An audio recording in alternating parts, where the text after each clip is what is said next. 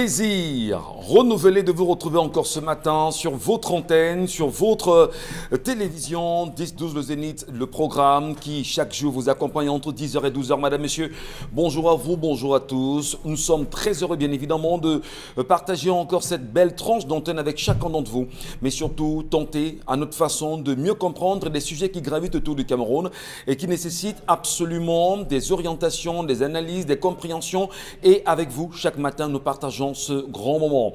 Comment comprendre aujourd'hui que la question du passeport continue de toucher tant de Camerounais? Est-ce qu'on peut comprendre exactement ce qui se passe au moment où nous vous parlons au niveau de la région à Yaoundé précisément, où de nombreux Camerounais depuis pratiquement 4 jours ne parviennent pas à obtenir leur passeport? Vous arrivez le matin à 6 heures, à 10 heures vous n'êtes pas reçu. Une fois au niveau de la région, le concerné viendra recevoir une dizaine de personnes. Et vous qui étiez depuis 5 heures du petit matin ou 6 heures, vous repartirez et vous reviendrez le lendemain dans l'espoir d'être reçu. Et bien évidemment le dire.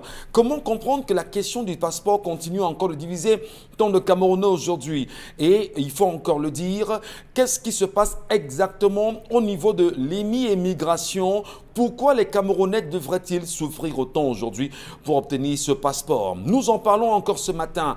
Et au-delà du passeport, la question de la carte nationale d'identité continue aussi de toucher tant de Camerounais. Ils sont très nombreux qui, depuis des mois, demandent au gouvernement camerounais de leur remettre en réalité leur carte nationale d'identité. Et jusqu'ici, malgré les appels, malgré les sorties de la délégation générale à la sûreté nationale, nombreux Camerounais, nombreux sont bien sûr les Camerounais qui n'ont toujours pas obtenu leur carte nationale d'identité. Comment peut-on être Camerounais sans être identifiable comme Camerounais? Que nous dit aujourd'hui en termes de bilan le délégué général à la sûreté nationale après les dernières injonctions attribuées bien sûr aux nombreux commissaires ou encore euh, poste de police, euh, sur la question bien sûr de ce euh, sésame camerounais. Est-ce que c'est devenu finalement un sésame? Les Camerounais n'ont-ils pas droit à la carte nationale d'identité. Le regard est encore plongé ce matin et orienté vers le délégué général à la sûreté nationale. On attend au plus vite des réponses. Ça bouge également dans le sérail, madame, messieurs. Des questions, des mouvements, des changements. Le gré à gré serait-il en train d'être acté? Comment comprendre le silence, entre guillemets, complice de certains partis politiques dits de l'opposition aujourd'hui Les Camerounais sont très silencieux, regardent les partis de l'opposition se demandant si le combat qui a été initié depuis des années continuera encore. On parle évidemment de gré à gré. Qui est ce nom qui circule depuis des jours sur la toile? Est-ce que après Paul Biya, ce sera toujours Paul Biya Ou encore, est-ce qu'après Paul Biya, on peut avoir un sursaut d'orgueil d'avoir des Camerounais, un nouveau Cameroun, un nouveau Camerounais à la tête de l'État qui pourra au mieux penser aux intérêts du peuple camerounais en lui-même. Installez-vous confortablement, madame, monsieur. La grande famille est au complet. Charles Amel, Bombok, Isabelle Carole Zopet et Dominique Audrey Oyengelek, ensemble unis pour la même mission. Jusqu'à 12h, vous serez servis. Bonbon Bengan Kandje, bonjour à vous et bienvenue ce matin. Bonjour Monsieur Ngachou bonjour à vous chers téléspectateurs. Oui, moi je me penche vers le pouvoir judiciaire au Cameroun. Pouvoir judiciaire parce que dans tout État, on parle d'État de droit. Il faut bien que le droit s'adresse, il faut que le droit s'applique, il faut que le droit aide les citoyens à se réconcilier avec les institutions. C'est ce qu'on appelle réconciliation de l'État et de la nation. Ça m'amène donc à dire clairement, est-ce que les magistrats camerounais vont se pencher sur le dossier de privatisation des entreprises publiques et parapubliques dans ce pays L'ONCPB est parti, on ne sait pas, plus de trois liquidateurs. L'ONCPB donnait l'argent à l'État même pour payer des salaires. On ne sait pas ce qu'il en est. Midevive est parti, Sotuk et tout. Même le fleuron Kamerko de même le fleuron qui constituait le secteur névralgique et stratégique est le port de Douala avec la Cameroon Shipping Lines. Où en est-on avec ces privatisations-là? Aujourd'hui, la FECAFO dit rabaisser le salaire des footballeurs professionnels à 36 200 francs. 70 francs. Vraiment. Alors qu'on devait le payer à, 50, à 50 000 au moins, on ramène à 32 700 francs. Or, le secteur névralgique la CAMSIP aurait pu aujourd'hui être dans une situation où l'État pouvait s'enorgueillir. Est-ce que le port de Marseille peut avoir cette eau-là Est-ce que les, ports en, France notamment sont dans cet état-là? Non. Nous, on avait la CAMSIP, on a voulu brader, on brade aux amis, on brade, mais que les magistrats nous aident vraiment. Est-ce que, les magistrats, que les magistrats vont vous aider aujourd'hui, Mbombo Bengan Permettez, collègues, permettez, permettez qu'on vous le dise, parce que quand même, dans l'affaire Camchip aujourd'hui, les noms à notre disposition sont des noms d'ailleurs de très hauts commis, bien sûr, de l'État du Cameroun aujourd'hui, même si depuis des jours, la CONAC a décidé, bien sûr, de se saisir de ce dossier précisément. Les noms sont sortis, les noms sont connus. Et qu'on brade, bien sûr, la Camchip à 150 millions de francs CFA, curieusement, que ce soit ceux qui étaient dans la machine, qui acceptent eux-mêmes de brader et d'acheter la même Camchip, mais finalement, c'est une affaire de petits copains au Cameroun aujourd'hui. Absolument. Il faudrait donc que les magistrats nous aident. Vous savez, leur consoeur Eva Joly avait fait ça et avait inculpé François Mitterrand et lui le Prigent dans l'Empire Elfe. Il faudrait donc que les magistrats demandent, par exemple, euh, Esther Dan, qui était directeur général de la SNI à l'époque, ou qu'est-ce qu'elle en a fait de la CAMCHI Et surtout, c'est lui qui représentait les intérêts de l'État là-bas, René Mbayenne. Pourquoi? Voilà les deux personnes qui doivent nous expliquer clairement, et les magistrats doivent le faire, ce n'est pas nous. Alors, vous évoquez bien sûr le nom de M. René Mbayen, hein, attendant bien sûr, lui qui était très impliqué dans ce dossier. Ben, il était directeur général, on me parlait d'État. Maintenant, lorsque il se trouve qu'on doit liquider ou privatiser ou faire ce que vous appelez, je ne connais pas les termes économiques, il faudrait bien qu'on en parle. Charles Amembatou, bonjour. Bonjour, Monsieur Michel Ngachou. Bonjour à tous les téléspectateurs il m'arrive rarement de sourire, mais je souris parce que j'espère que pour une fois, les choses vont être dites, Monsieur Michel, quand on apprend qu'une entreprise comme la Camship a été liquidée à hauteur de 150 millions, alors qu'elle avait des navires, alors qu'elle fonctionnait à 100 à l'heure, Monsieur Michel Gatiou, qu'un groupuscule d'individus parmi lesquels des hauts gradés, on va citer certains hauts gradés, personnes dont les noms commencent déjà à être cités, euh, se sont retrouvés dans cette affaire à consommer M. Michel Ngachou au nom qui a pu déposer un tel dossier devant le chef de l'État. Comment est-ce que le chef de l'État a pu signer un tel dossier?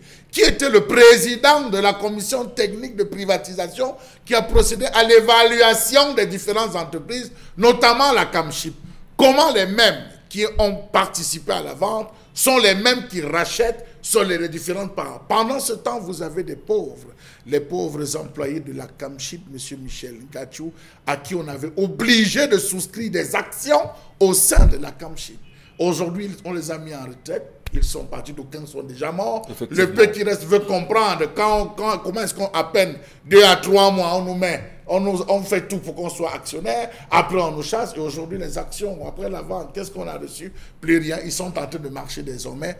Merci à la CONAC. Merci grandement à la CONAC de cette saisie de ce dossier. Il faut que les Camerounais sachent où est-ce qu'on a et que les différentes personnes, fut-elles même au commis de l'État, de gauche au nom du peuple camerounais. Et merci aussi, M. Michel Ngachou, parce que hier, les colères, la colère des populations, parce que nous, on est là pour la proximité, a été entendue. C'est vers 21 heures qu'on a réussi à, changer le transformateur, qu'on disait qu'il y avait problème. Le transformateur dans, la zone de Pepanama, là, pour alimenter. S'il faut faire quatre jours pour être alimenté, monsieur Michel c'est bien, c'est bien grave. va... Non, non, c'est grave, monsieur Michel Gachou, parce qu'il faut des formalités. On doit descendre sur le terrain, avoir, on a, on a changé ce transformateur. Il y a eu l'électricité maintenant. Je pense parce que la, lumière est revenue, monsieur. Elle est revenue. Est-ce qu'il y a au moins des excuses de l'entreprise distributrice d'électricité? Voilà. On, entendra parler. Isabelle Carrozopet, bonjour. Bonjour à vous, Michel. Bonjour à ceux qui regardent ce programme ce matin encore. Les pièces de monnaie dans la ville de Douala, vraiment, on souffre le peuple souffre parce que c'est tellement compliqué. Des fois, vous vous retrouvez avec des choses que vous n'avez même pas l'intention d'acheter. Mais vous êtes obligé de les acheter parce que vous avez besoin de 100 francs, de 200, de 300. Vous avez besoin des jetons pour faire, euh, vraiment pour prendre un taxi, pour se déplacer, tout ce qui va avec. Vous êtes au marché, vous avez de l'argent en main, mais vous n'arrivez pas à faire les courses. Tout simplement parce que vous n'avez pas vraiment les jetons. Qu'est-ce qui se passe avec ces jetons? Qui les garde? Parce que nous, on souffre de, vraiment de ça. Merci beaucoup, mais il faut bien sûr le dire. Hier encore, la gendarmerie nationale, à travers une communication, laissait entendre euh, qu'elle a mis la main sur un gant de personnes qui seraient impliquées dans la fabrication des fausses pièces de monnaie et au niveau de Yaoundé et qui euh, seraient engluées dans une histoire où vous apportez euh, de l'argent et puis voilà, on vous donne plus de, pièces que prévu. Monsieur Michel Ngachou, oui. c'est les jeux que vous voyez dans les quartiers dans tous les quartiers, à côté d'une machine à écraser, vous avez les jeux de Chinois. Non, permettez que je vous dise, quand ils viennent, ils récupèrent ces pièces. Apparemment, ça permet de fabriquer des bijoux en argent. Je suis en train d'essayer de, discuter. De je dis, ils viennent, ils collectent. C'est dans des sacs, monsieur Michel oui. qui collecte. Si véritablement la gendarmerie nationale veut nous aider, qu'elle commence par mettre la main sur ces différentes personnes pour le circuit. On étudie le circuit. Rappelez-vous la dernière tous ces points de jeu sont bien connus. Sont bien connus. Connus de tous. Lorsqu'ils viennent, ils viennent avec des gros sacs, ils récupèrent et ils ne rentrent pas. Ils vont directement à leur hôtel dans les différents hôtels là où ils dorment, avec ces différentes pièces. Et vous voyez, les gars, on dit Ici, là, on compte les pièces. Ils vont, ils achètent les pièces dans les différents points. Ils achètent des pièces pour revenir avec et partir. C'est pas sérieux. Il faut bien sûr le dire, Chalamel Batiou, puisqu'on décrit également, on le sait depuis des jours sur la toile, ça bouge énormément avec l'affaire du professeur G.D. Mendozé qui était à l'IT, qui est très malade également. Et on se pose encore, on se pose encore une question sur la situation des détenus euh, dans nos prisons aujourd'hui. Et surtout pour ceux qui sont souffrants et malades. C'est aussi le cas ici dans le avec la situation bien sûr de Madame Sopo, Marie-Christine, cette dame de 65 ans qui est porteuse d'un cancer, engluée dans l'affaire euh, qui la lie avec l'entreprise de Golfing aujourd'hui, qui depuis un petit moment demande simplement à être relaxée et de comparaître libre devant les juridictions pour l'affaire la concernant. Comment comprendre aujourd'hui qu'il y ait eu, euh, malgré les, les, les, tentatives de résolution, comme ça a été le cas avec son mari, qui a choisi bien sûr de dire à la justice, puisque vous revendiquez un peu plus de 900 millions dans laquelle elle ne se reconnaît pas, moi je pose un milliard et demi, le temps pour vous de bien mener des enquêtes et de permettre qu'elle puisse comparaître libre. Ce qui est incroyable, c'est que la justice dit niet. On entendra encore parler dans les jours à venir. Dominique Odoyengle, bonjour. Bonjour Michel, bonjour aux téléspectateurs. Ce matin, euh, comme beaucoup de Camerounais, on a vu sur la toile la vidéo exposant la nudité de deux jeunes enfants qui seraient des élèves qui ont été surpris en plein ébat, non loin de la zone des DA.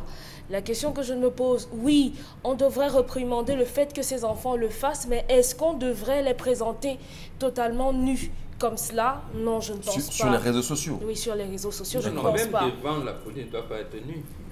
Je ne sais pas, on demande à la jeune fille, enlève tes mains, enlève tes mains. Le jeune homme est complètement à poil.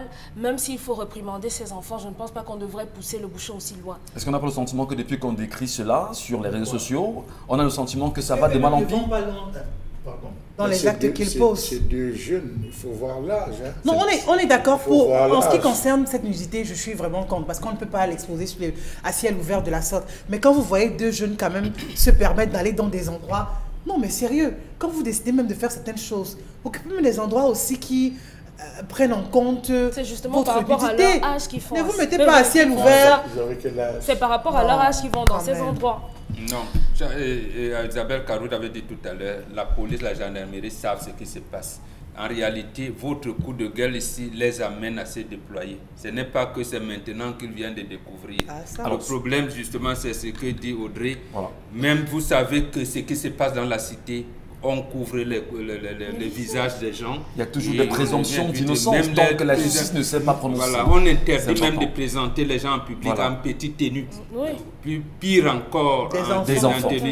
Alors, il faut justement rappeler aux uns aux autres que l'utilisation des réseaux sociaux aujourd'hui, ce n'est pas pour tuer les dignités des uns des autres. Même lorsqu'on veut décrier, prenez la peine d'habiller, bien sûr, les images qui sont les vôtres avant de les publier parce que la nudité de quelqu'un comprenez bien la, la réalité autour. C'est pas important, c'est pas bien. C'est une question de dignité.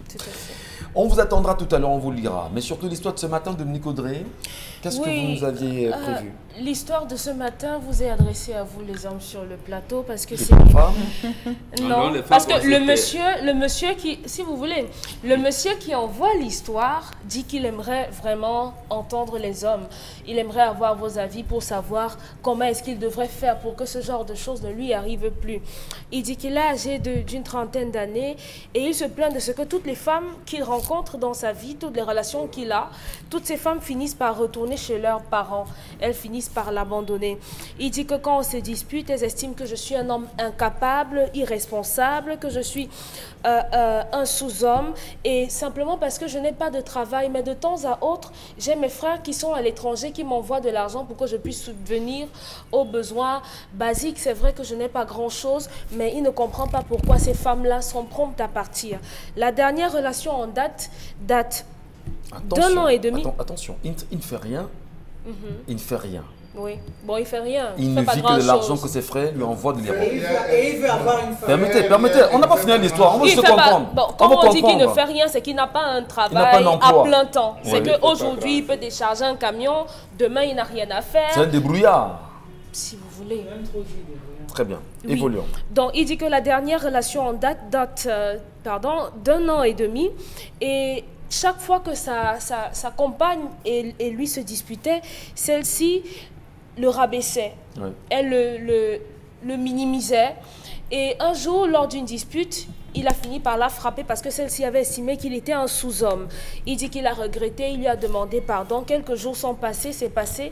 Mais les matins où il sortait, il se réveillait il était à la maison, il ne faisait pas grand-chose. Elle, avant de sortir, l'insultait. Tu ne vois pas le voisin tel hein? Tu ne peux pas, tu ne peux pas, tu ne peux pas. Un jour, il a fini par dire à la dame, si tu n'es pas contente, tu n'as qu'à partir. Elle n'est pas partie, mais il y a quelques jours, il revient euh, d'un petit chantier qu'il a eu. Il trouve un mot où la dame lui a dit vraiment, je ne, je ne peux pas supporter ce genre de relation. Je préfère subir les, les railleries du quartier et retourner. Je ne peux pas être dans plusieurs relations successives où je suis toujours au même niveau, je stagne, donc je ne peux pas. Je préfère partir. C'est la femme qui le dit? Oui.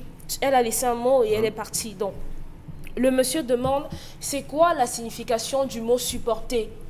Dans les, les, relations, comment s'y prendre pour que, pour avoir une femme qui va pouvoir le comprendre, l'accepter et rester avec lui malgré le fait qu'il n'est rien? Non, c'est le aide-moi à souffrir. Non, pourquoi aide-moi à souffrir?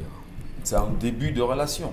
Chacun, chacun appelle ça comme il veut. Vous, vous appelez la, correction des enfants droits de l'homme et la bastonnade de la femme l'école du mariage. D'accord. Chacun donne l'interprétation. Les débats ne se sont ouverts ce matin.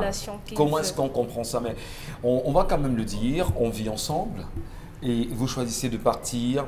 Enfin, j'ai plusieurs relations et chaque fois elles viennent s'en vont, elles viennent s'en vont parce qu'elles estiment que je suis un sous-homme, je ne gagne pas grand-chose, je ne suis pas à la hauteur. Mais qu'est-ce qui peut bien pousser une femme à partir? Le fait qu'il n'y ait pas d'argent, le fait qu'on l'entretienne pas bien, le fait qu'on ne prenne pas soin d'elle. Euh, et la question c'est qu'est-ce que veut dire supporter dans une relation? C'est ça le problème fondamental. Il aimerait comprendre et savoir comment s'y prendre pour, pour pouvoir préserver les prochaines relations. Ah, comment préserver? Les potentiels, oui, comment s'y prendre pour que les, prochaines qui arrivent, euh, ils puissent savoir comment gérer. Est-ce que vous, qui nous regardez ce matin, vous vous retrouvez dans cette histoire? Est-ce que vous avez un proche au moins qui sait euh, qui, qui, se retrouve en même temps? Peut-être vous aussi, vous vivez cela d'une façon particulière. Laissez-nous vos commentaires, laissez-nous vos avis. Et qu'est-ce que cela vous inspire comme commentaire, madame, monsieur On vous lira tout à l'heure sur les pages Equinox TV, 10 de Zénith ou encore un numéro s'affiche bas à l'écran. Merci pour vos commentaires. Et un détail en plus, la dame disait qu'elle voulait un enfant et lui, il a dit à celle-là qu'il n'était pas encore prêt. D'accord. Isabelle Carole Zopet, votre analyse ce matin de cette histoire Cet homme qui voulait que, les hommes réagissent. oui, d'abord les hommes. Oh ben d'accord. Ok. Non, non, Bon, la, question adressée aux hommes, oui, analysons, analysons avec justement le point de vue des femmes. Ok Isabelle Carole, comment vous l'appréciez Franchement, deux fois deux mesures. Je ne suis pas d'accord avec ce matin. Mais dans tous les cas, ce que je vais dire, je ne peux pas.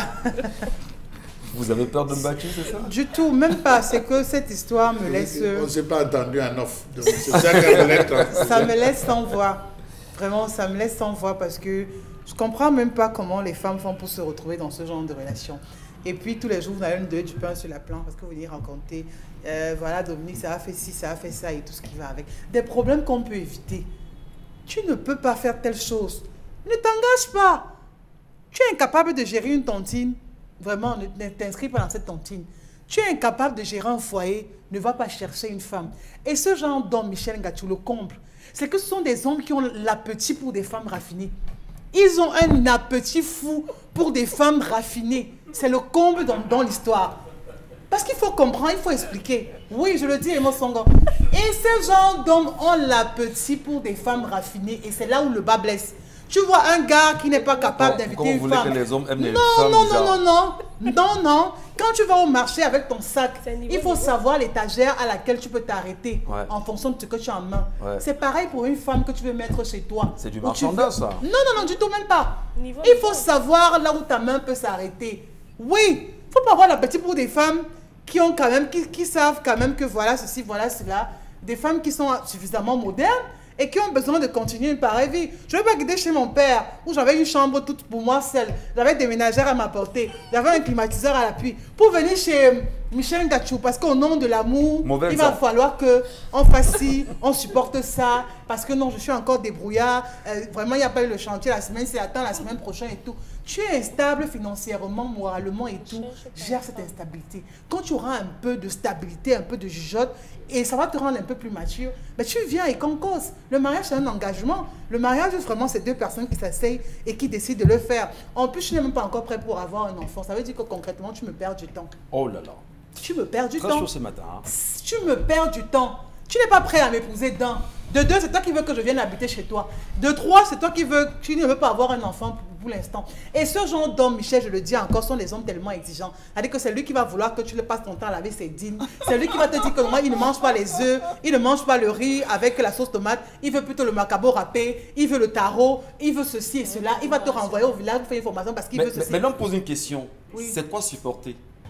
C'est quoi supporter Oui. En fait, pour moi, ce mot, quand on dit supporter, pour moi, ça n'existe même pas. Parce qu'il ne s'agit même pas de supporter. Ou ça passe de- ou ça casse. Terminé. On n'est pas là pour dire que supporter. On supporte quoi par rapport à quoi? Sur quelle base? Il n'y a Je- rien. On Je vois Dominique rien. Audrey sourire. Vraiment, À le sourire de Dominique Audrey ce la matin. Non, vraiment, Ah, je dis Oui, les, que les hommes arrêtent. Qu'ils apprennent à avoir l'appétit qu'il faut. Mais- mais- Il ne faut pas avoir l'appétit pour le poulet. Pourtant, ton appétit Mais- suffit pour un bon à vous gars. entendre parler. Apprenez à avoir l'appétit qu'il faut. On vous entend parler le sentiment Non, il faut mesurer ça. Désormais, pour avoir une femme, Non. permettez. Non, permettez, Michel. permettez. Non. Permettez. Je, Non. je vous relance simplement. Non, je vois là où vous voulez chuter, je suis pas d'accord. On en face un homme paresseux.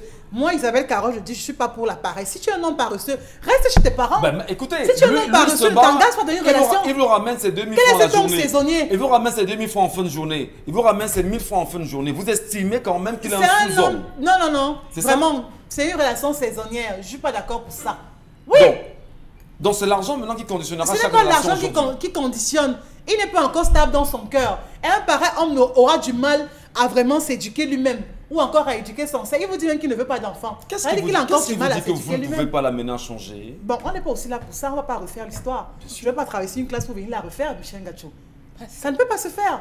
Je ne peux, pas tra- je peux pas avoir un bac et vous me demandez de le refaire. Je ne peux pas. Moi, je ne peux pas le faire. J'ai traversé cette étape. Et quand je la traversais, tu étais où pour ne pas la traverser? L'étape où on étudie, on supporte, on apprend ci, on apprend ça. On a traversé une étape, on l'a traversée. On ne peut pas quitter de ceci pour aller à cela quand même. Alors là, justement, on a eu la vie, on a eu la vie d'une femme sur le plateau. Se bon, bon, hein, bon, bon, Bengan. Bon, bon. suffisant aussi. Oui, effectivement.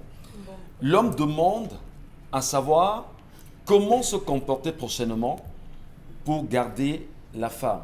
Celle-là qui estime qu'il est un sous-homme, qui n'apporte pas grand-chose. Et en écoutant les arguments d'Isabelle Carrozopet ce matin, est-ce qu'on n'a pas le sentiment qu'on est rentré dans un marchandage de ce qu'on appellerait la relation, le mariage, euh, la mise en commun? On Ça s'achète maintenant ou bien? Oui, des femmes demandent qu'on les achète. Oh. Je répète, la femme d'aujourd'hui veut qu'on l'achète. Et c'est encore elle qui dit, non, la dot ne peut pas. L'histoire d'hier se rapproche à celle d'aujourd'hui. Oui. Je vous dis, parce que euh, j'aime bien mon ami Jean-Michel Cancan. Il vous disait que moi, je n'aime pas le commerce de détail, j'aime le commerce de gros. Justement. Et ça, l'histoire d'aujourd'hui nous montre un garçon qui est assidu dans sa famille et sûrement qui doit avoir des responsabilités sur le plan de l'héritage familial. Et c'est ce que les filles ne comprennent pas. Il dit bien l'histoire du jour. Je me débrouille, je fais des petits jobs, je arrive de me débrouiller. Je n'ai pas encore trouvé un travail stable. Ouais. Quelquefois aussi, mes aînés m'envoient pour tenir. Voilà. Mais le malheur, c'est qu'il n'a pas encore rencontré une fille qui a l'idée du mariage en tête. Nous avons des filles qui veulent avoir des boutiquiers et qu'elles me pardonnent. C'est justement pour ça, quand vous entendez que, bon, je ne vais pas indexer les pays amis, oui, tel Malien au quartier a fait le tour des filles, tel Nigérien qui a le boutiquier et tel boucher a, a justement ce délitement de la société qui n'est pas seulement le délitement des valeurs morales. Je parle bien du délitement de la société. Ça veut dire que la société n'existe plus. Je pense que vous, vous, nous avez, euh, vous nous en avez rappelé hier en disant que vous, vos aînés, vous avez, vous avez. Effectivement. Donc ce garçon, c'est un garçon qui a l'âme de Dieu qui sommeille en lui, c'est-à-dire qui aime l'harmonie, le bien-être mais qui est... Qui se contente de ce qu'il a Non, non, qu'il est dans une société où ses aînés sont occidentalisés, ses parents peut-être ne sont plus là, mais il a besoin, il sent qu'il a besoin d'un encadrement. Donc, c'est, là, je le félicite, c'est d'un encadrement. Mon fils, reste tranquille, contente-toi de ces petits métiers-là que tu fais, bats-toi, mais justement parce que apparemment il est même bien élevé. Parce qu'il est, dans, il est né, serait né dans une famille où papa et maman se complétaient. Effectivement. Il a donc cette image-là que maman, maman, aidait papa, maman faisait ceci. Donc je veux, pourquoi je ne trouve pas une femme qui se comporte comme maman qui aidait papa à réfléchir et tout? Maintenant, c'est ça le drame. On a des filles qui pensent qu'ils vont la bougie, viennent prendre. Quelquefois, même, il met un carnet là-bas. Il va ah, donne-moi pain, pain, chocolat. Donc, tu vois Or, le gars, lui, veut un accompagnement. Mon fils, une femme avec qui grandir, une femme avec qui construire, justement, construire l'avenir. Il faut cheminer. Alors, justement, Dominique audrey je voudrais bien suivre relancer quand même sur, sur euh, euh, je vais dire, euh, les arguments apportés ici par Isabelle Carozopet. Est-ce que ce n'est pas ce type d'argument qui amène tant de jeunes garçons à se... par exemple? Je, je n'accepterai pas de vivre avec... Isabelle Caro l'a dit il faut que l'homme ait d'abord l'argent, la femme vient s'asseoir, manger. Non, bon, bon, on va C'est comme ça que j'ai compris. Elle vous dit par exemple qu'elle ne peut pas refaire le chemin. C'est-à-dire qu'elle a eu son baccalauréat, ça ne sert à rien qu'elle revienne faire le bac à sa place. Apprenez à mesurer vos appétits, c'est tout. Voilà. Est-ce que ce n'est pas justement un tel langage qui amènerait certains jeunes, certains Camerounais, certains qui sont faibles à, se compromettre parce qu'on veut absolument avoir de l'argent pour faire plaisir à la femme avec qui on voudrait vivre et avec qui on voudrait aller plus loin? Si par compromission, vous voulez dire sortir de leur zone de confort et aller travailler, oui. Non, je pas de compromission, au, sens... Euh, au sens non, c'est vous qui dites aux gens que si vous n'avez pas la possibilité ou bien si vous n'avez pas assez de boules pour aller euh, euh, cravacher pour une femme, compromettez-vous. Je ne pense pas que ce, soit ce qu'elle a dit. Regardez. La crainte, en fait. L'artiste, Lady pense à une chanson où elle dit justement, faut pas manger ce que tu peux pas digérer. Et je crois que c'est ça que Carole a expliqué. Il hein? ne faut pas manger ce que tu ne peux pas digérer. Oui. Si tu ne manges pas le tarot, ne mange pas. Si tu sais que tu ne peux pas digérer le tarot, ne mange pas parce que ça va te faire mal au ventre. Et c'est ça. Simplement, le monsieur de l'histoire n'est pas... Euh, c'est vrai qu'il a 30 ans, hein, mais il est encore jeune d'ailleurs. Mais il est, il, est, il est immature, il n'est pas prêt. Parce qu'il a, oui Michel, il a aligné, il aligne les relations. Il se dit que euh, lorsqu'on est un peu grand et qu'on a un peu de, de, de barbe sous le menton, on devient, on est un grand garçon et on est suffisamment grand pour avoir une femme qui dort derrière nous, peu importe ce que ça comporte. Mais sauf que dans la vraie vie, avoir une femme sous son autorité, ça demande énormément de choses. Comment quelqu'un qui est normalement constitué, un homme, qui n'a pas de travail, réussit à dormir jusqu'à 9h du matin? C'est ce qu'il va dire dans l'histoire. Parce qu'il dort dans les bras d'une femme. Parce qu'il dort dans les bras d'une femme. C'est Ce n'est pas l'histoire. Est-ce que c'est ce que l'histoire nous dit? C'est pas ce que l'histoire dit. On n'a pas suivi. Merci de calmer. Donc ça veut dire qu'elle a bloqué. Non, vous aurez le temps de parole qui vous sera consacré. Vous suivez Dominique C'est l'histoire. Juste que je l'ai suivi. Effectivement. Prenez des notes. C'est déjà fait. C'est l'histoire, c'est l'histoire parce que le monsieur raconte que le matin, sa femme l'engueule et lui demande de se comporter comme le mari des voisins qui sortent travailler. Est-ce que c'est Ça la veut bonne, la dire- attitude, ça Dominique veut- Audrey? Écoutez, hein, si vous n'avez pas encore vécu, bon, vous êtes un homme, hein, mais si vous aviez déjà vécu avec, une, avec un homme qui ne veut rien faire, qui se lève le matin et euh, il va jouer au- au- oui, part miser 300 pour un match, ou bien il part entourer les, numéros pour, euh, pour un jeu de hasard, vous comprendrez ce que ça fait. Parce que ça dégoûte d'avoir un homme qui ne veut pas faire d'efforts. Les hommes, je l'ai dit ici, je crois l'année dernière, que moi je me marierais aisément avec un homme qui touche 45 000 francs. Simplement parce que malgré la modicité de la somme, on voit un homme qui se bat, on voit un homme qui est digne. Mais simplement celui-ci, il se contente d'être le petit frère d'un benguiste. Qui veut d'un homme comme ça? Isabelle Carole, lors de ses premiers passages ici, cette année, a mentionné que l'homme est le collier que toutes les femmes aimeraient brandir. Mais celui-ci ne peut pas être un, un beau collier. Personne n'a envie de le cacher parce qu'il ne fait pas d'efforts. Si on n'a pas les possibilités, Alors, mais, mais, mais- l'histoire, ne vous dit pas qu'il est paresseux quand même. Hein.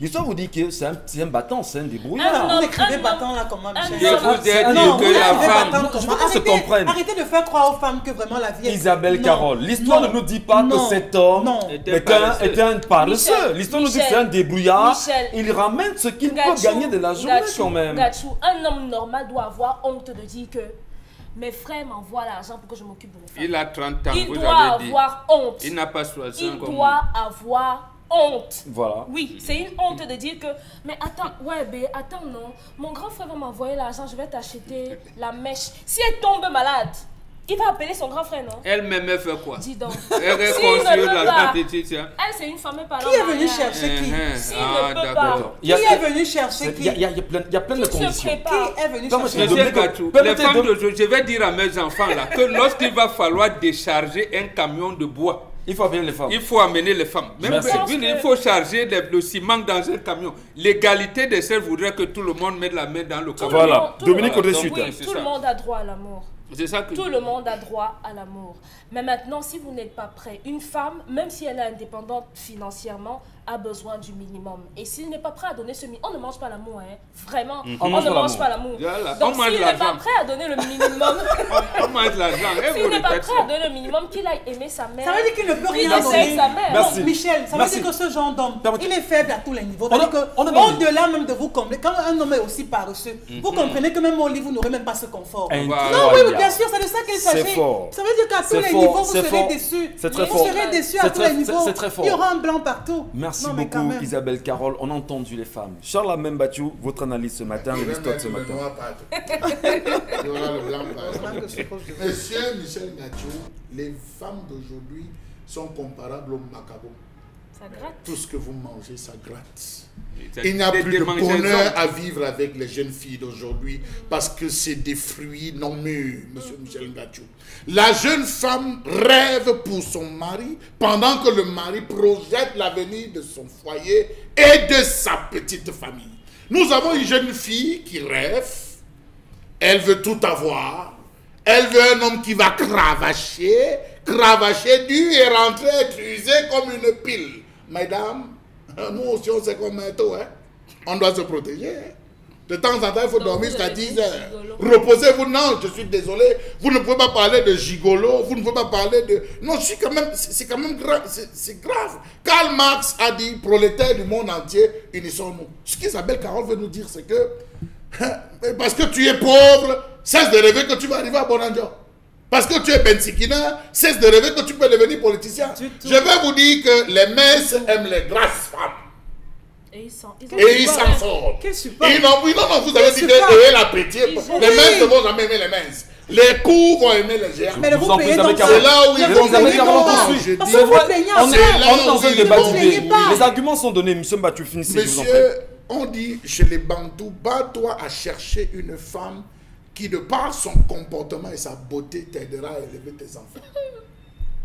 Je dis bien, bats-toi à chercher une femme qui, de par son comportement ou sa beauté, t'aidera à élever tes enfants, monsieur Michel veut Dans le comportement, il y a tout. Quand on demande à un homme de mesurer son appétit, monsieur Michel, vous allez à Tchanga, puis les femmes brunes, hein?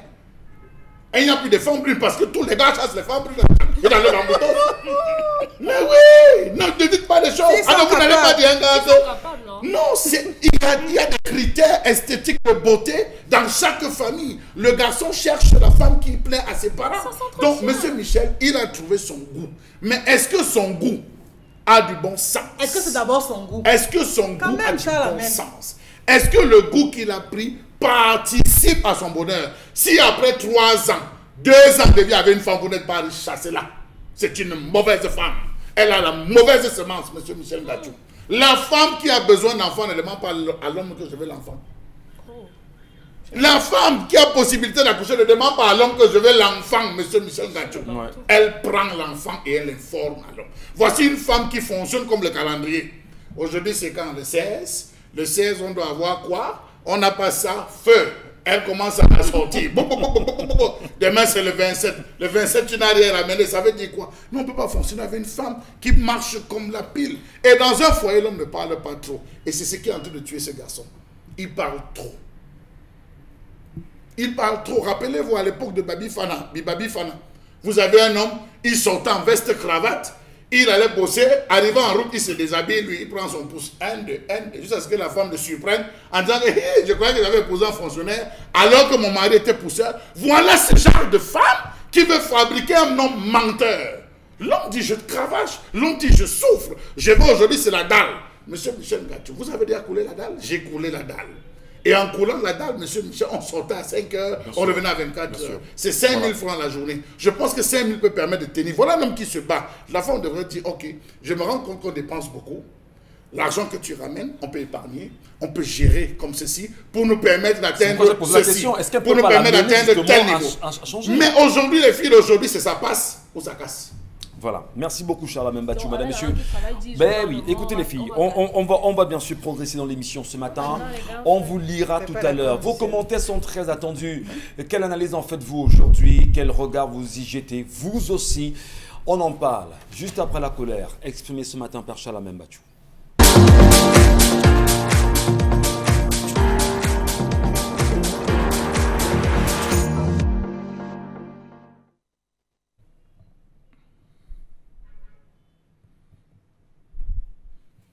Je m'interroge ce jour sur la question de l'abandon des mécanismes de prévention agricole face à l'invasion des oiseaux granivores et animaux dans les plantations dans ce pays.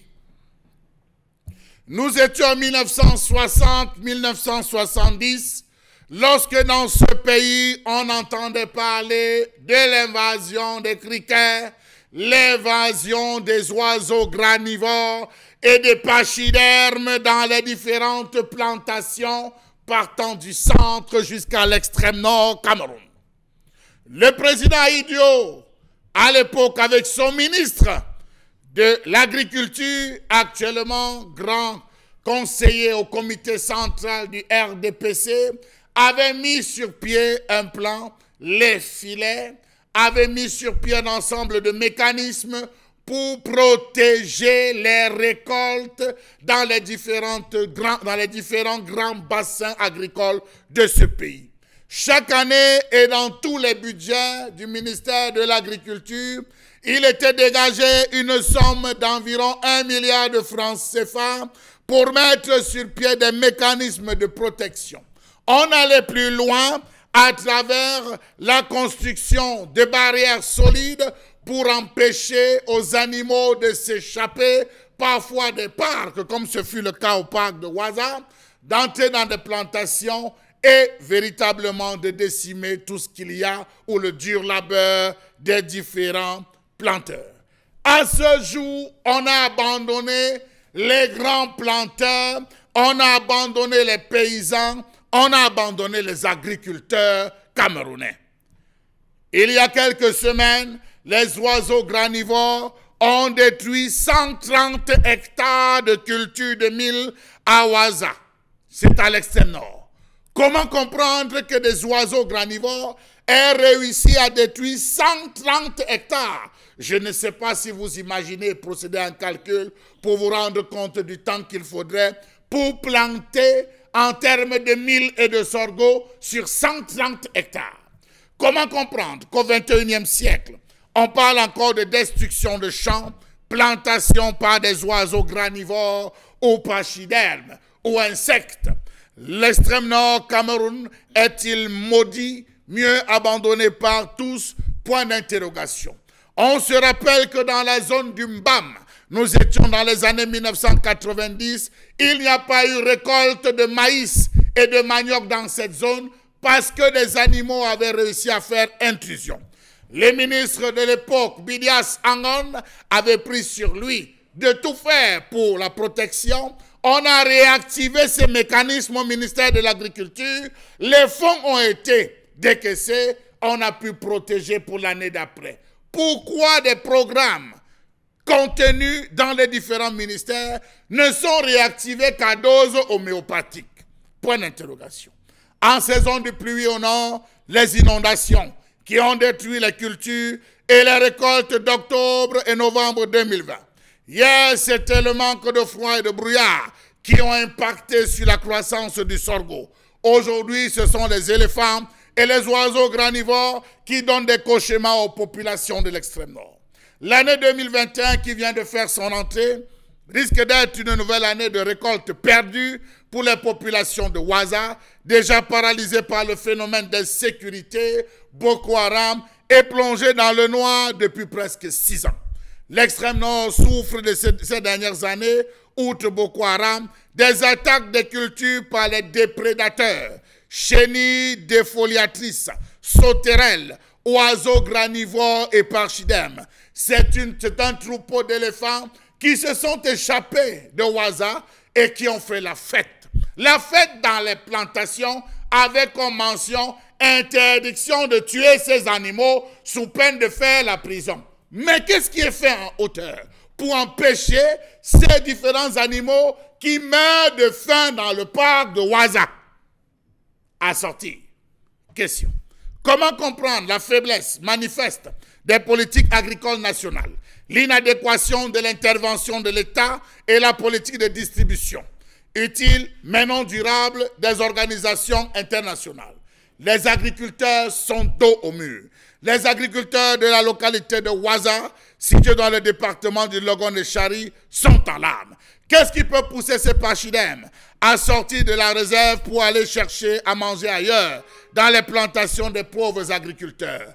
Bien avant, on a eu 934 hectares qui ont été attaqués par ces pachidèmes, chacun dans sa section, et par les insectes, les criquets, qui ont dévoré. Quels sont les mécanismes mis en place par les acteurs gouvernementaux pour prévenir de tels phénomènes qui ont par le passé provoqué une sérieuse épidémie de famine dans le Grand Nord? Depuis quelques jours, ils détruisent dans le Mayo Kani, dans le Mano, dans le Mano Mayo Danaï, et dans le logo de Chari sans que le ministère de l'Agriculture n'ait mis en branle le fameux plan d'urgence implémenté par le, chef de l'État. Des champs de mille et des cultures de contre-saison comme le sorgho complètement détruits. Des pleurs, des larmes. Comment comprendre que l'État du Cameroun n'ait pas procédé à la régulation de cette population de pachidèmes et mesurer la conséquence de l'insuffisance des ressources vitales liées à la nutrition de ces pachidèmes qui les pousse à sortir de leur réserve pour aller chercher de l'alimentation ailleurs. On n'est pas loin d'une catastrophe, ce qui fait planer inévitablement le spectre de la famine sur les régions de l'extrême nord. Comment comprendre que face aux plaintes des populations, les responsables des services déconcentrés ont plutôt recommandé aux agriculteurs de s'installer dans le champ? Voilà tout un délégué régional Dit-on qu'il demande aux populations de s'installer dans le champ et de faire la veille face aux oiseaux granivores. Ils arrivent en colonie de mille pour un travail assez précis. Quel est ce type de mesure? Plusieurs méthodes ont été appliquées par les habitants, à savoir le tam-tam, la fumée et autres pratiques pour chasser ces oiseaux granivores, mais rien n'a été fait. Dans d'autres pays voisins au Cameroun, on utilise des filets. Quand est-ce que le Cameroun prendra en compte le secteur agricole, les paysans, les agriculteurs, les planteurs, pour permettre au moins aux gens de pouvoir manger? On a deux grands bassins qui sont morts, le nord-ouest et le sud-ouest. On se battait encore en espérant que ça viendrait de l'extrême nord. Mais hélas, rien ne montera plus ces jours. Nous saluons bien sûr les populations de l'extrême nord qui nous regardent ce matin. Nous saluons ceux qui sont pas très loin du parc de Waza. On sait en même temps que dans l'extrême nord vous êtes de plus en plus proche d'Equinox Télévision. Merci, bien sûr, Madame, Messieurs, à vous de rester très présents. Nous saluons également ces nombreux Camerounais qui comprennent la douleur des populations camerounaises dans l'extrême nord du Cameroun. Nous saluons bien évidemment le ministère de l'Agriculture, dont l'appel est fait ce matin, qu'ils nous disent exactement quelles sont les actions menées autour de cette question concernant la protection évidente des populations et des cultures de ce côté. Au-delà, bien sûr, du ministère de l'Agriculture, Qu'est-ce qu'on va dire du ministère de la faune et la forêt, certainement, ou encore ce ministère qui s'occupe du parc de Waza aujourd'hui? Qu'est-ce qu'on fait de ces qui manquent cruellement à manger au sein du parc de Waza et qui vont désormais manger tout ce qui a été pensé par les populations aujourd'hui. Ne craignons-nous pas que plus vite nous puissions rentrer dans une séquence difficile de famine au Cameroun émanant de l'extrême nord de ce, du, pays Qu'est-ce qu'on peut faire au plus vite pour en sortir? C'est une colère exprimée parce que dans les jours à venir, si rien n'est fait, on manquera cruellement à manger. Charles a très bien dit, le bassin nord-ouest et sud-ouest aujourd'hui dans une crise sécuritaire qui ne dit pas son nom depuis 5 ans, en espérant encore que l'extrême nord pouvait sauver aujourd'hui le Cameroun, que non, et surtout l'attitude du ministère de l'Agriculture. Comment vous, Il faut sur le plateau, le vous il n'y a pas de production actuellement agricole dans le MBAM à cause des lions. On n'a pas pu attraper les lions. Effectivement. Les femmes ont abandonné les plantations, ont abandonné les champs parce que les lions font de temps en temps des incursions. On n'a pas pu attraper. Donc précisons que le gouvernement a dépensé beaucoup d'argent dans la zone du bas, mais on n'a pas pu attraper les lions qui sont encore en divagation dans cette zone. Comment vous, comment vous comprenez ça, euh, Isabelle Carole Zopet? Le gouvernement s'en fout, le gouvernement n'a que cuire de la vie des populations aujourd'hui, que ce soit dans l'extrême nord ou l'Ombam, comme il le dit, et même dans ce bassin agricole connu qui est le nord et le sud-est du Cameroun aujourd'hui. Euh, ce qui révolte, notamment quand on parle d'une zone comme l'extrême nord, j'ai envie de dire euh, le septentrion en Bien général, c'est que ce sont d'abord des zones qui sont en proie à la guerre. Ce sont des zones qui sont en proie à l'insécurité. C'est une zone qui est en proie à la famine. C'est une zone où on parle de chômage, où on parle de déscolarisation, où on parle de manque cruel et criard d'infrastructures sociaux de base D'abandon dans tous les sens. autant de problèmes pour une seule partie du pays. C'est-à-dire qu'on a l'impression que le septentrion, vraiment, c'est le mal aimé du Cameroun. C'est-à-dire qu'un peu comme un enfant moins choyé dans une famille. Le septentrion aujourd'hui au Cameroun, vraiment, c'est cette partie du pays-là où on n'a même pas envie d'y être. Aujourd'hui, je crois que sur cette question qui est cruciale, n'incombe plus seulement vraiment à ce euh, euh, euh, ministère en charge même de l'agriculture. Il faut notamment que ces ministères travaillent en synergie. Je prends un cas simple, celui du tourisme. Oui. Aujourd'hui, où en est-on? Ce manque criard, ce problème vraiment diminue, rabaisse et fait même piétiner le Cameroun au niveau du tourisme. Lorsqu'on arrive au Cameroun, ou alors lorsqu'on est même Camerounais, on a bien envie de faire un tour à l'extrême nord, que ce soit au nord, que ce soit à la Damawa. Est-ce qu'on peut le faire? Non. Les gens craignent quoi? L'insécurité. Les gens craignent quoi? Euh, euh, L'absence d'énergie électrique. On craint quoi? Le mauvais état des routes, tout ce qui va avec. Alors, vous êtes justement a- dans, il y a dans- rien- dans- dans le- dans les problèmes de façon... il n'y a rien qui rassure. Parce que quand il y a, par exemple, des animaux qui s'échappent, des animaux qui mettent en mal toute une partie du pays, ben vous qui arrivez, vous ne pouvez pas vous rendre. Puisque ceux qui sont, qui sont ont, mal- ont mal- ont- ont du mal à y être. Mm. C'est pour montrer à quel point le mal il est profond. Et ne pas simplement s'arrêter sur ces questions de famille. et Est-ce qu'on n'a pas Et voir même bien plus loin Mais que justement, ça. la, la question de la famine aujourd'hui, fondamentalement, pose un réel problème. Euh, comment est-ce qu'on peut apprécier l'attitude du gouvernement, notamment le ministère de l'Agriculture, qui euh, ne met pas des mécanismes en place pour que ces oiseaux granivores, ces pachidèmes, et que les C'est pour ça, populations puissent se c'est pour ça que je parlais en, rapport avec le secteur du tourisme. Pourquoi? Parce que c'était des endroits bien entretenus. Mhm. Vous n'allez pas me dire qu'un non. Un lion fait comment pour s'évader, pour fuir, tout ce qui va avec? Si c'est dans des endroits bien entretenus, des endroits qui attiraient plutôt du beau monde, ça veut donc dire qu'il devait être dans, les- dans des conditions vraiment très appropriées. Ou penser même, c'est-à-dire dormir dans son lit et penser qu'un lion peut surgir, ne devrait même pas exister dans le cerveau d'un individu. Puisqu'il sait bel et bien qu'il y a toutes les mesures, toutes les dispositions ont été prises pour qu'il soit bien encadré. Aujourd'hui, on parle de toutes ces plantations vraiment qui sont détruites. D'une population, pourtant, qui vit d'abord de l'agriculture lorsqu'on parle d'une pareille zone. Basiquement. D'abord de ça, avant même que d'autres éléments arrivent, c'est d'abord de l'agriculture que cette zone vit. C'est d'abord de l'agriculture, de tout ce qu'elles récoltent de, de leur terre, qu'elles parviennent également à donner à leurs bêtes, parce que l'agriculture et l'élevage sont des, des, des activités vraiment appropriées pour ces zones, des activités de base dans cette zone. Bon, aujourd'hui, maintenant que ces animaux peuvent se retrouver un peu partout, comment on explique ça? On attend que les bilans soient lourds pour venir à la télé pour dire non, écoutez, vraiment en raison de ceci et cela, on fera ça. Je ne pense pas que ce soit la solution. Est-ce que ce n'est pas ça euh, qui très souvent pousse euh, le programme alimentaire mondial à rentrer dans certains pays où on estime que vous avez tout pour vous en sortir, mais vous refusez de le faire.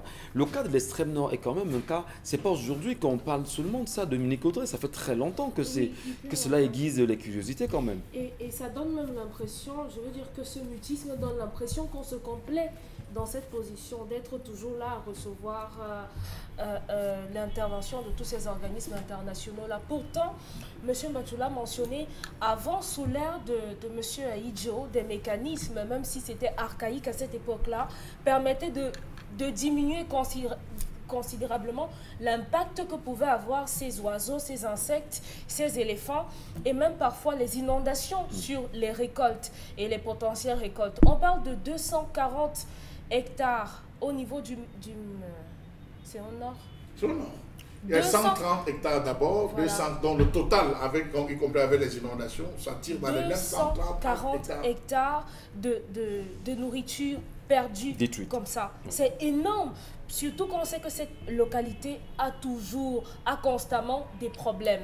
Maintenant, moi, j'interpelle le ministère de la Recherche scientifique parce que sous d'autres cieux, dans d'autres pays, la lutte se fait de façon biologique. On sait quels sont les insectes qui rongent les feuilles. Je veux dire que si vous avez parcouru... voilà. Des, chenilles défoliatrices. Voilà. Si vous allez dans les champs ou bien si vous êtes habitué à travailler dans les champs, vous remarquerez que parfois, même pour que le maïs pousse, il y a certains insectes. Lorsque ça commence à toucher les feuilles de maïs, le maïs ne va plus pousser, ou bien même les feuilles de bananier. Donc, dans d'autres pays, en Europe par exemple, dans les champs de maïs, on utilise d'autres insectes pour chasser ces, insectes-là. Donc, la question, le ministère de la Recherche scientifique, à part euh, chasser les chauves-souris et fabriquer peut-être la, chloroquine ou c'est la quinine, je ne sais pas trop quoi, fait quoi? On devrait mettre tous ces, ces... Ces batteries en marche? Oui, tout le monde, c'est un enchevêtrement. Tout le monde devrait donner du sien pour que ça puisse se faire. Pourquoi on ne continue pas avec la méthode des filets pour protéger les, cultures? Aujourd'hui, on, observe le déploiement des, des éléphants, des pachydermes. Comment? Parce qu'à une époque, ils, effectuaient des, migrations, des déplacements, ils se déplaçaient et après ils retournaient à leur endroit souche. Mais malheureusement, là-bas, ils ne retournent plus. Pourquoi? Parce qu'ils n'ont plus rien à manger. Ça veut dire quoi? Le ministère en charge du tourisme ne s'occupe pas de, ces, voilà. On ne s'occupe plus de ces animaux-là. On ne sait pas comment est-ce qu'ils vivent là-bas, puisque les lions sont sortis. Les lions sortent tous les jours. les pachidèmes, c'est-à-dire euh, les éléphants, au niveau de Waza. Oui. Ben, même, a bien, présenté la, carte où on dit la réalité au niveau du MBAM aujourd'hui. Pour un petit exemple également avec les lions. Alors finalement, on va saluer le gouvernement, on dit bravo au ministère de l'Agriculture en disant le travail que vous faites, il est bon, les Camerounais sont satisfaits par la qualité. C'est remarquable. Vraiment, c'est remarquable. Vous savez que ne rien faire, c'est faire quelque chose aussi. C'est bien de ne rien faire. Donc aujourd'hui, non seulement les Camerounais dans le MBAM ont faim, mais en plus d'avoir faim, ils risquent de se faire bouffer par un lion. Bouffer par un lion. Dans d'autres pays, dans d'autres pays, on étudie, j'ai lu, lu des, livres où on parlait d'étudier la race d'oiseaux qui venaient dévaster les champs. On les canalisait de telle sorte que les citoyens puissent même manger de cette, de cette viande-là parce que après, la, viande d'oiseau est pleine de protéines. Donc on pourrait capitaliser si on a un minimum de volonté, de bonne, de bonne volonté. On, en reparle. Hein. On en reparle. On marque une pause, madame, monsieur, sur notre antenne. Merci de rester sur Equinox Télévision.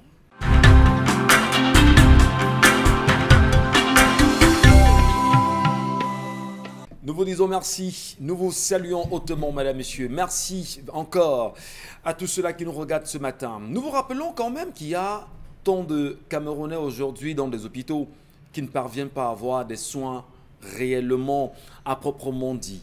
Je voudrais saluer ce matin infiniment avec beaucoup de respect les médecins qui travaillent à Yaoundé, notamment au niveau du service, euh, au niveau euh, du centre des urgences de Yaoundé, au niveau des curies. Je voudrais simplement rappeler en même temps qu'il y en a parmi ces médecins ceux qui choisissent de faire un travail excellent, ce qu'il faudrait bien sûr encourager, ce qu'il faudrait, on va dire, motiver. Et permettez-moi humblement de donner le nom de médecin qui est orthopédiste là-bas qui fait un travail excellent. Il s'agit bien sûr du docteur Ngongan qui fait un travail formidable. Mais dire aussi qu'il est important de dire que là-bas, il y a des Camerounais qui ne parviennent pas à avoir les soins de santé réels. Docteur Ngongan, bravo pour le travail. Charles même battu tout à l'heure, vous nous parlez bien sûr de cette euh, question évidente concernant euh, la destruction, les destructions de près de 900 hectares euh, de, de, terres, de champs aujourd'hui dans l'extrême nord du Cameroun. Bon, Bengan, nous parlions bien sûr du regard que peut avoir la communauté internationale, du moins celle qui s'occupe hein, de, l'agriculture dans ce domaine. Nous parlons de l'attitude du ministère de l'Agriculture qui quasiment s'en fout, mais surtout la politique agricole aujourd'hui au Cameroun, on est mal barré. Absolument. On est dans la famille. Ah, absolument.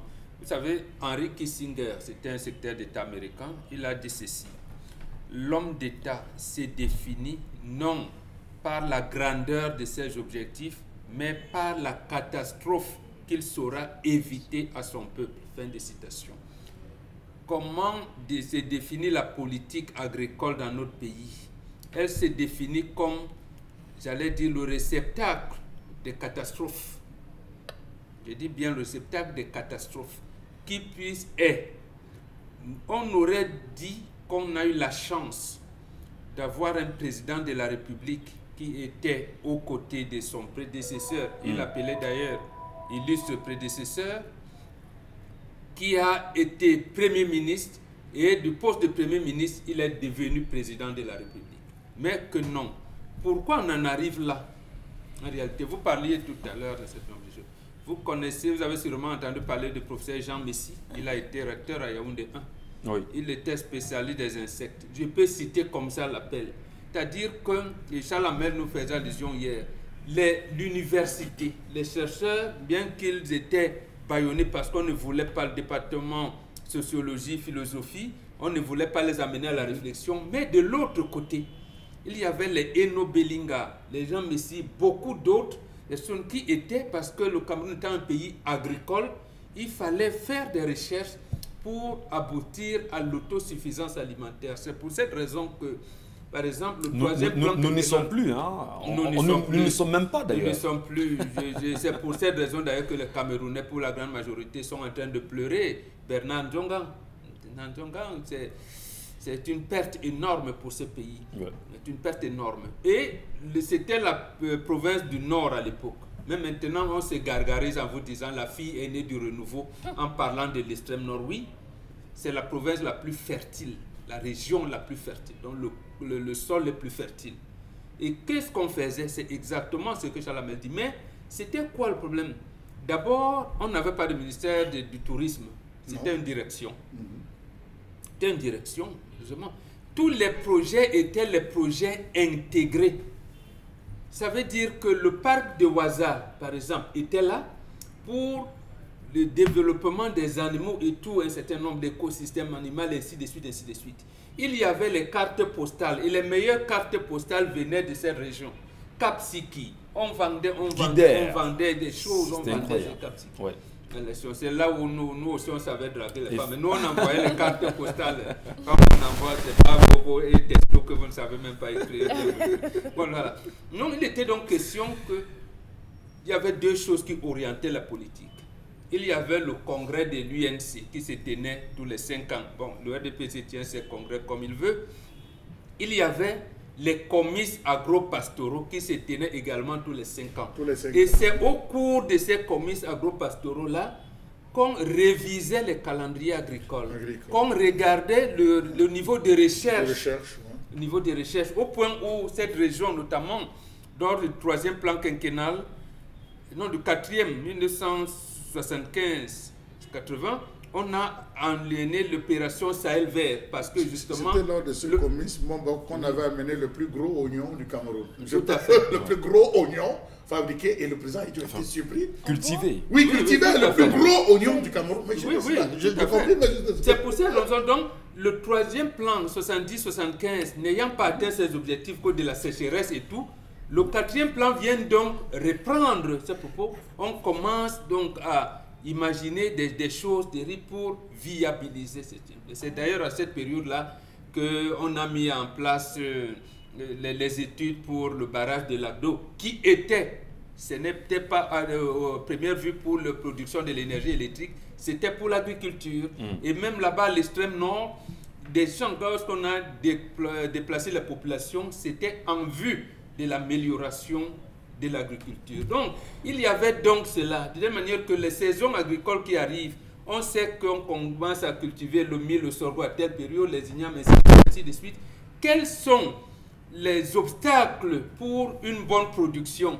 Il y avait les criquets, les oiseaux, les, éléphants, les chenilles. un certain nombre de choses. Et vous voyez même les chercheurs de l'université de, de Yaoundé pardon, aller faire des il y a des mémoires qui existent. Donc, qu'est-ce qu'on fait? Et la population était engagée, les filets étaient achetés. Donc, il y avait une mobilisation, même au sud. Personne n'avait jamais mis les pieds à, Marois, à Kayele, je ne sais pas moi, et, tout. Mais ils savaient qu'aujourd'hui, nos frères et sœurs du Nord on sont en proie à telle, à telle chose et il faut une mobilisation pour cela. Donc, en fait, c'est aujourd'hui que j'entends des choses du genre, dis donc les anglophones, hein, ça les regarde là-bas. Nous, c'était un problème national. National.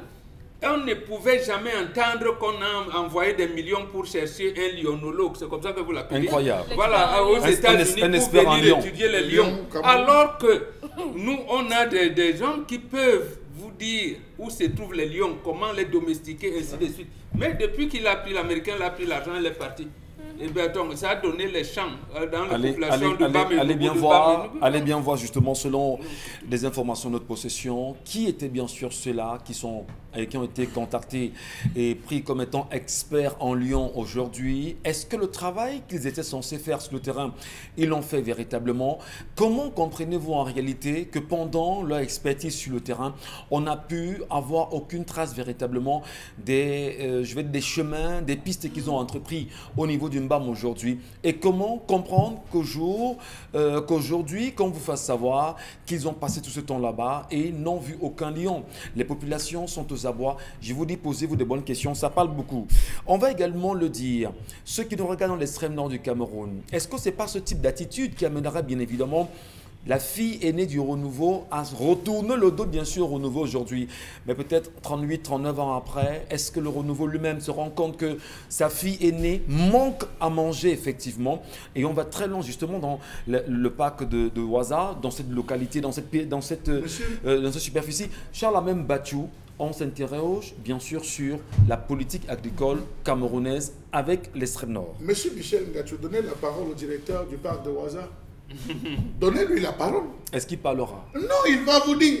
Il n'a pas le choix. Est-ce qu'il parlera? Il n'a pas le choix, Monsieur Michel Ngachou. Il, ne parle pas. le gouvernement camerounais ne parle vous pas. Savez vous savez euh, on a affamé Brenda et Tourébé, elle est morte. Elle s'est retrouvée affamée. Et elle, elle, est morte, monsieur Michel Nacho. Je fais allusion à ce lion hein, qui m'avait donné. Euh, oui, voilà, je suivais déjà vos regards très ébranlés. C'était la lionne, la lionne de Tougébé, le, le, parc zoologique. Le parc zoologique, de Tougébé. Voilà. Il n'y avait rien pour la nourrir, ouais. monsieur Michel. De. Vorbetti, merci. Bah, C'est une résidente. Hein. Monsieur Michel, vous vous rendez compte qu'au parc de Waza, les animaux fuient parce qu'ils n'ont pas de quoi manger. Ils sont obligés de s'échapper. Vous avez le braconnage qui décime tous les gardes, tous les gardiens. Avez-vous voyez ce qu'on leur donne pour pouvoir se défendre Pendant qu'il a un coup, les gars qui sont arrivés sont à Les gars sont obligés de fuir malgré le fait qu'on leur a donné. Donc vous vous rendez compte que les gars n'ont pas. Et puis qui va aller nourrir ces différents animaux? La famine, les gars sont obligés de sortir. Vous, on vous parle de 930 hectares. Est-ce que vous vous, vous, vous essayez d'imaginer 930 hectares, monsieur Michel On imagine bien, monsieur À perte de vue. Monsieur Battu. Fait à la main. Ce n'est pas des tracteurs. C'est des Camerounais. Ce n'est pas des tracteurs. C'est des êtres humains. C'est des êtres humains et leurs familles. Est-ce que vous savez que les oiseaux qui ont attaqué les oiseaux granivores, ils ont travaillé ces oiseaux pendant 22 jours? Bien avant cela, lorsque les gars ont eu les premiers signes, on a écrit au délégué départemental, qui a écrit au délégué régional, qui a écrit au ministère Yaoundé. Vraiment, ça ne va pas. Les premières indications, la météo nous signale qu'il y aura une furie à travers. On a dit, vous aussi, trouvez des moyens. On dit aux populations, allez vous installer dans les champs, monsieur Michel Gatou. Vous voyez, vous riez parce que c'est ça, c'est comme ça. C'est qu'on est dépassé. Est-ce que vous savez que pendant ce temps, les enfants ne sont pas allés à l'école? On a mis à contribution toutes les familles pour protéger le sorgho. Parce que c'est de ça qu'ils vivent. C'est de la commercialisation. On fait le mil, le couscous de mil. On mange, tout est fait à base de mil, monsieur Michel Gatio. 22 jours. Il faut dans les plantations pour chasser les oiseaux. Pour être là pour chasser. Vous allez chasser Et les, les- oiseaux qui viennent en colonie de mille, Et monsieur les Michel. éléphants, papa. Vous savez que dans le nord, on ne fait plus l'extrême nord, on ne fait plus les fruits. Les vergers, ça n'existe plus, monsieur Michel, parce que vous avez des, des chimpanzés, vous avez des... Ils s'échappaient, et c'est là où ils venaient se nourrir. Ils venaient se nourrir là pour consommer, avec interdiction de les tuer. Voilà, excusez-moi, justement, vous avez entendu parler du président Arab Moï Oui, au, Arab Kenya, au Kenya. Voilà. Et vous avez, Aïdjo avait ceci que quand c'est bien quelque part, ces pays de l'Afrique de l'Est, notamment, ils avaient cette politique du tourisme là-bas avec les lions, comment on protège les lions et un certain nombre de choses? Vous vous entendez souvent de, de- de cette Afrique-là où on vous parle des lions, des chimpanzés, les gorilles, et ainsi de suite. On le faisait ici. Ce qui fait que pendant les vacances, comme il y a les vacances de, de- de- de Noël ici, les gens avec la caméra, comme on vous dit tout, euh, je vous disais tout à l'heure que c'était des projets intégrés, un fonctionnaire pouvait aller en vacances à l'extrême à l'extrême nord. Bon, j'étais la, la province du Nord, mais avec toute sa famille. Toute sa famille pour voir. Et on vous disait, attention, à cet instant, les lions sont instant, et on les entretenait. Vous n'avez jamais entendu que les lions sont partis, on a fait ci, on a fait ça, ils ont dévoré, ils ont amené les populations à quitter leur localité. Mais où en est-on avec cette opération? Je, je- je voudrais quand même, cher Lamel, pour qu'on puisse sortir de cette colère aujourd'hui, euh, tout en invitant les Camerounais à se poser les bonnes questions, vraiment en toute humilité. Et on va peut-être dire que cette question est générique ici. Elle est générique parce qu'on se dit, il y a un problème fondamental. La gouvernance, le chef de l'État, 39 ans, lui tient les rênes du pouvoir. Il a ses collaborateurs qui sont faillibles, qui sont entre guillemets incompétents. Est-ce que l'incompétence, justement, n'a pas ses origines? Ajoutez un peu à ça, 39 ans d'abandon de cette fille aînée. Cette fille est née du, du, du C'est un renouveau. enfant qu'on a fait. On, s'en dit, souvient. on s'en souvient récemment des voix qui sont élevées dans l'extrême nord du Cameroun et qui ont tenté justement de dire voilà ce que nous avons fait comme bilan avec le renouveau pendant 39 ans. Nous n'avons rien eu, nous n'avons rien profité. La politique agricole nationale qui repose sur les plans mis en place par le chef de l'État n'ont jamais abouti. Au final, quel bilan peut-on faire de ce chef d'État aujourd'hui? Elle est bien loin la période où nous apercevons le chef de l'État sur un tracteur dans un champ d'ananas. Très bien loin cette période de M. Michel qui avait poussé et galvanisé les Camerounais à se lancer dans l'agriculture. Pendant toute une période, on le filmait des ébans. Ouais. Vraiment, les ministères à cette période, suivant les indications du chef de l'État, se battaient à aménager. Mais quand on vous dit que vous avez 130 hectares de, de, de terre cultivées par des populations qui, en 22 jours, ont été détruites par... Mais attendez, on est dans la famine. Et Comme on vous et a dit que de ne disait 2018, rien. Et qu'on de ne disait rien, c'est incroyable 2018 quand même, à hein. 2020, on était sous assistance du programme alimentaire mondial. Nous le sommes nous le sommes toujours, toujours. jusqu'aujourd'hui, depuis attendez. 2017. Voilà. Et on a, on a refusé de dire ça aux populations. Voilà donc 130 hectares qui sont détruits. Voilà le MBAM qui ne produit pas. Voilà le nord-ouest qui ne produit pas. Voilà le sud-ouest. Est-ce que vous savez que l'ail, et et c'est là où je dis, le gouvernement camerounais pense aider les Camerounais, mais il les tue. Vous mangez l'ail chinois. Vous mangez l'oignon chinois. Au Vous ne consommez plus camerounais, monsieur Michel Gatou. Vous mangez l'ail chinois. Vous mangez l'oignon chinois. On sent pas. Ça ne sent pas, ça n'a aucune odeur. Payez pour ça n'a aucune odeur. Lorsqu'on vous amenait l'oignon de Garoua, Lorsqu'on vous amenez l'ail, monsieur Nya- euh, euh, Michel Ngachou, venez dans la zone qui sont de la zone de Yagua. Lorsque vous taillez juste cette ail, vous allez éternuer au moins 13 fois. Lorsque vous mangez, monsieur Michel Ngachou, tout votre palais, vous consommez cette ail. Mais ça ne vient pas. Vous avez la destruction littérale. Quand ce n'est pas les os, c'est les pachydermes. Quand ce n'est pas les pachydermes, c'est les chenilles. Ce n'est pas les chenilles. Mais nous avons des programmes de protection au ministère de l'Agriculture. Cet argent sert à quoi, monsieur Michel Ngachou Il faudrait que les organismes internationaux qui aident le Cameroun n'aident plus. Ça, il faut le dire, monsieur Non, Michel. faut- il faut- oui, parce que jusqu'aux non, non, intrants, Il faut, Il il faut- faire quelque non, chose il faut qu'il aide que là- Il faut, faut que nous ayons faim. que nous ayons faim, monsieur nous Michel. aurons faim, c'est vous qui nous le dites souvent, là, les Camerounais vont se réveiller. Parce qu'on c'est c'est non, parce que les que- Français n'ont pas pu acheter le pain qu'ils ont fait la Non, non, les On Camerounais, les donc Camerounais le se Il y a un bon concentrent. nombre de sur ça. Camerounais qui ont déjà Le, non, je dis faut bien, que nous le gouvernement, vous savez, on dit, ok, euh, la première inondation, la Libye nous a envoyé des sacs de riz, vous le savez, des sacs de riz, des sacs Incroyable. de farine et tout. On dit, oh, tranquille, on, On- essaie on- d'apporter. on peut donc comprendre On va faire un aujourd'hui don de ceci. des grandes la conséquences, FAO, des grandes conséquences économiques effectivement peut comprendre le, on va dire les niveaux de ce qu'on appelle le riz étranger, de la nourriture oui. l'étranger, de tout ce que l'Union européenne nous impose au Cameroun comme aliment, mais on est mal barré. Qu'est-ce qu'on fait pour que le peuple camerounais qui nous regarde là maintenant se lève et prenne ses responsabilités, Monsieur Mbachou C'est quand même, ça fait Monsieur 39 ans, on est fatigué. On fait quoi? dire, Pendant la, la- la- la- la préparation de cette colère, j'ai essayé de voir comment ça se passait ailleurs, aux États-Unis. Les plantons aux États-Unis souffrent de la même chose que nous dans certains États, des, des oiseaux granivores et tout. Mais l'État met à disposition des filets. Ils ont même déjà évolué, il y a des filets. Ça attrape juste l'oiseau, mais ça ne tue pas l'oiseau parce que les premiers, tuaient, les, les premières formes tuaient les oiseaux. Non, ça attrape. Et c'était une a- de l'écosystème. Oui, il y a toute une, euh, comment vous appelez ça, une autre, un autre organisme Oui. qui vient récupérer ces oiseaux. On trouve un endroit, on va les libérer. C'est leur principe, ils sont un tracé. On a étudié et on a évité que sur ce tracé des oiseaux migratoires, on fait des champs. On a préféré des... Mais je- voilà des travaux qui sont faits. Merci. Nous avons des Merci. Oui, oui, oui. Rapidement, non, Dominique Audrey, l'astuce. Oui, Peut-être peut-être le ministre peut vous écouter ce matin et vous Non, l'aider. ça- c'est pas pour c'est pas pour les aider, c'est eux, je suis désolée. Euh, J'ai lu sur le site de, de FAO, www.fao.org, que le piment pouvait aider à éloigner les, les éléphants des champs. Donc, vous écrasez du piment et vous badigeonnez, l'odeur va éloigner. Donc, si au maximum on essayait Oui, là- non, non, non, c'est des piment paysans. allez c'est regarder effectivement, oui, allez oui. regarder sur C'est le des solutions. Si jamais ça marche, puisque Voilà. si on demande aux gens d'aller rester dans les champs, les, les- les- les éléphants vont les écraser Non. dans les champs. Ils vont vivre comment Non, dans mais les c'est champs? Gatou a raison. C'est le ministre de l'Agriculture qui doit vous écouter. Il faut, il faut qu'il Il vous met ça écoute. dans son programme. Donc Voilà. il a l'argent d'autres des Merci, merci, merci à vous, merci à vous, merci à tous. Merci à tous, madame, monsieur. Non, N'oubliez pas en réalité, s'il vous plaît, vous qui nous regardez chaque matin, et nous parlons bien sûr d'éveil des consciences, si vous ne pensez pas à la politique, dire que si vous ne demandez pas, si nous ne demandons pas au chef de l'État de nous dire exactement ce pourquoi il a été élu en 2018, ses programmes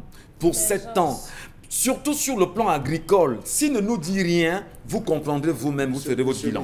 Permettez, dites, monsieur. dites au chef de, dites, euh, au chef de Dites aux l'État. Camerounais. Dites au, Aux chef de Camerounais. l'État- non, dites au chef de l'État maintenant que ce qu'il y a lieu de faire, on a déjà vu, vous avez abandonné d'envoyer la nutrition à ces populations parce qu'ils n'auront pas mangé. Il y a bien Ah, la famine. envoie la nutrition. Oui, mais on, on va Vous verrez des sacs- vous verrez des de riz sortis En bientôt. ce moment, monsieur Michel On dira vous donner 2 kilos de riz. Parce qu'on vous donnera à manger.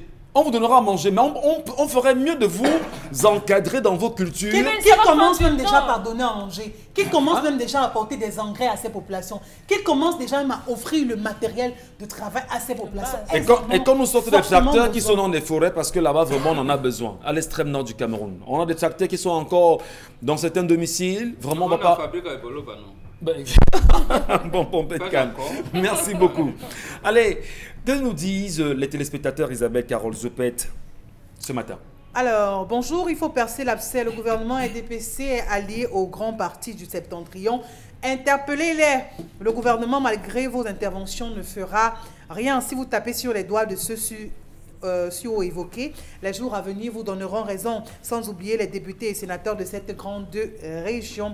Le message... Et, et bien, et bien sûr, Les là, très important, on ne peut pas comprendre que dans l'extrême nord du Cameroun, dans le, dans le septentrion en général, que nous ayons tous ces sénateurs, tous ces députés, tous ces hauts commis de l'État, Ils, font, ils, ils font allusion là à l'UNDP.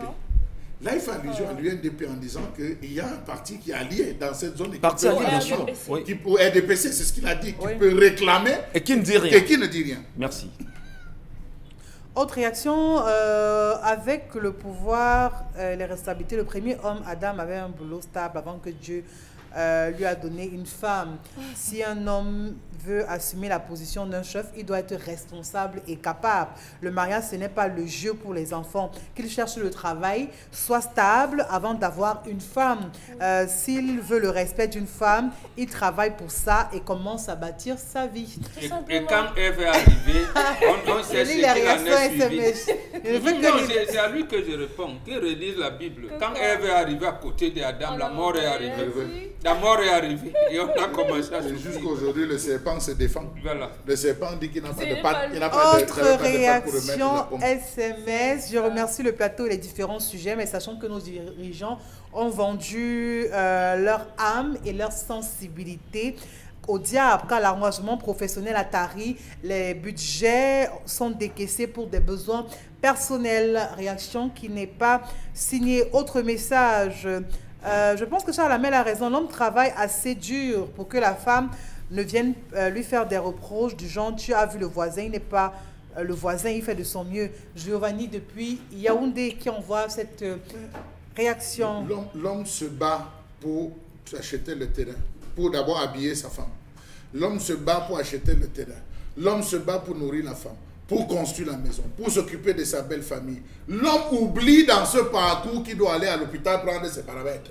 L'homme oublie qu'il doit aller à l'hôpital, soigner ses maux de tête Ouais. et tout. Il est rattrapé un matin par un AVC où on lui dit Vous avez, monsieur, vous tenez une hypertension. Vous il est couché sur le lit, sa femme ne vient pas le regarder. C'est Et c'est là où il se souvient que j'ai travaillé, j'étais un locataire, j'ai tout donné. Et le jour du deuil, la femme, elle est à permettez, permettez, Et la femme permettez, l'association des veuves joyeuses. Joyeuse. Non. permettez, permettez. Traiter une femme comme une reine, Je voudrais- Je voudrais- je voudrais ici- je voudrais Vous ici- traitez une femme comme une reine, elle vous traitera comme un. Zéro. Je On ne voudrais ici approuver, je voudrais avec votre respect, approuver les idées d'un aîné qui euh, nous le disait encore hier, que franchement, monsieur Ngachou, travaillez pour vous d'abord. Pour vous, C'est un aîné, hein. C'est un aîné, c'est un aîné, c'est un aîné pas le crédit. Il me c'est faut un les aîné, c'est un chaussures, il me faut les habits, il dit, faut... monsieur femmes travaillez pour vous d'abord parce qu'en réalité, pensez à... Vous, permettez, permettez. Il met moi, Pensez- met moi. L'homme d'abord. Alors, Et celle qui est derrière vous. Permettez, Isabelle Caro, je, Ça vous je vous ramène l'exemple Ça de va de être Président comme chez Néné. vous, c'est Il dit, pensez à ce que vous devez manger.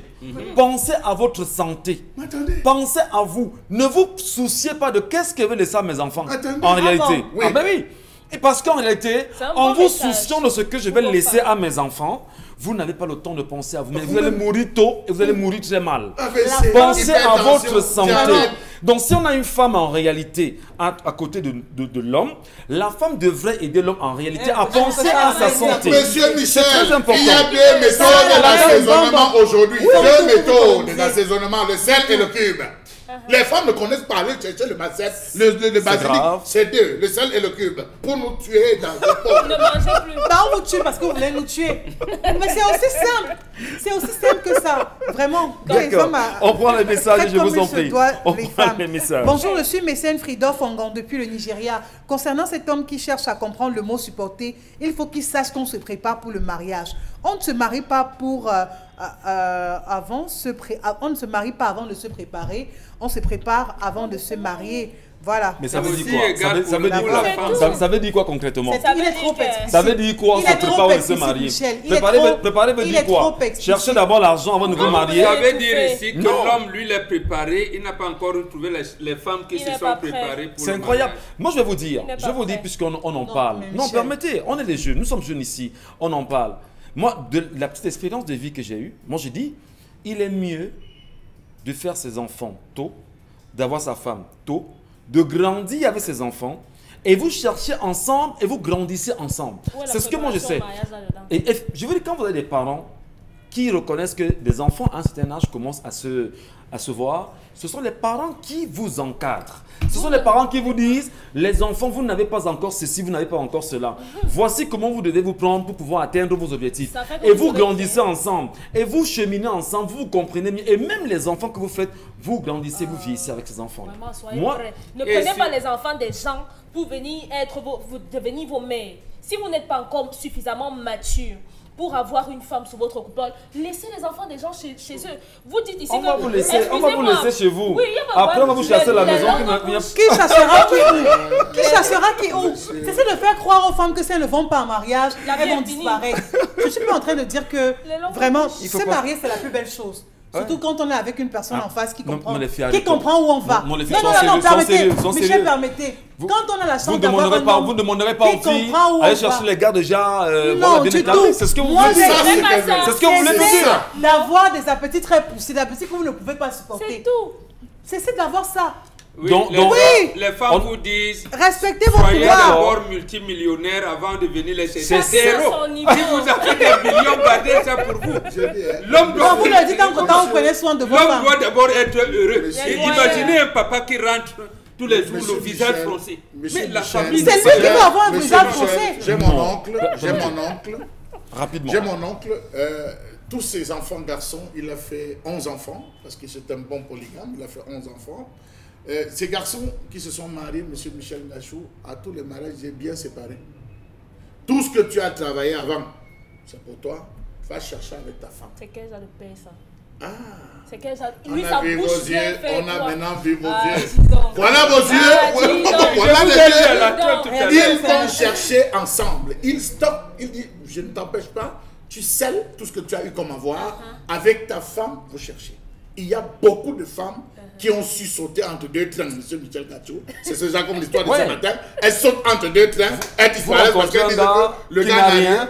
D'autres arrivent en disant Voici ce que j'ai, on peut construire comme ça. Ils ont commencé à construire. Après 5-10 ans, le père a rappelé le garçon en lui disant C'est une bonne femme, allez-y. Le mariage, ce n'est pas un C'est test. ça encadré. On ne fait pas un C'est un test. test. Non, non, ce n'est pas un test. c'est un test. On va chez monsieur le maire pour venir dire qu'on peut encore gommer. Non, il faut arrêter ça. Avant Ce n'est pas un test. On ne met pas à l'épreuve l'autre. Voilà. Est-ce que vous aimez cette personne? Oui. Et puis le reste suit. Avec son C'est argent. tout. Je l'aime Voilà, avec son argent. tout. Vous l'aimez, vous On l'aime entièrement. On l'aime entièrement. Avec l'argent également. Il n'y a pas d'argent, vous partez. On, l'aime entièrement. Il n'y a pas d'argent, vous partez. On c'est l'aime entièrement. les messages de. Bonjour à tout le plateau. En ce qui concerne le secteur agricole, c'est vraiment pathétique car il n'a jamais été valorisé. Euh, voilà même euh, les exploitants agricoles formés du côté d'une CAM qui n'ont pas reçu de subventions euh, jusqu'ici. Et même les agriculteurs qui sont du côté de Konjok prennent de la peine pour mettre sur le marché des produits agricoles.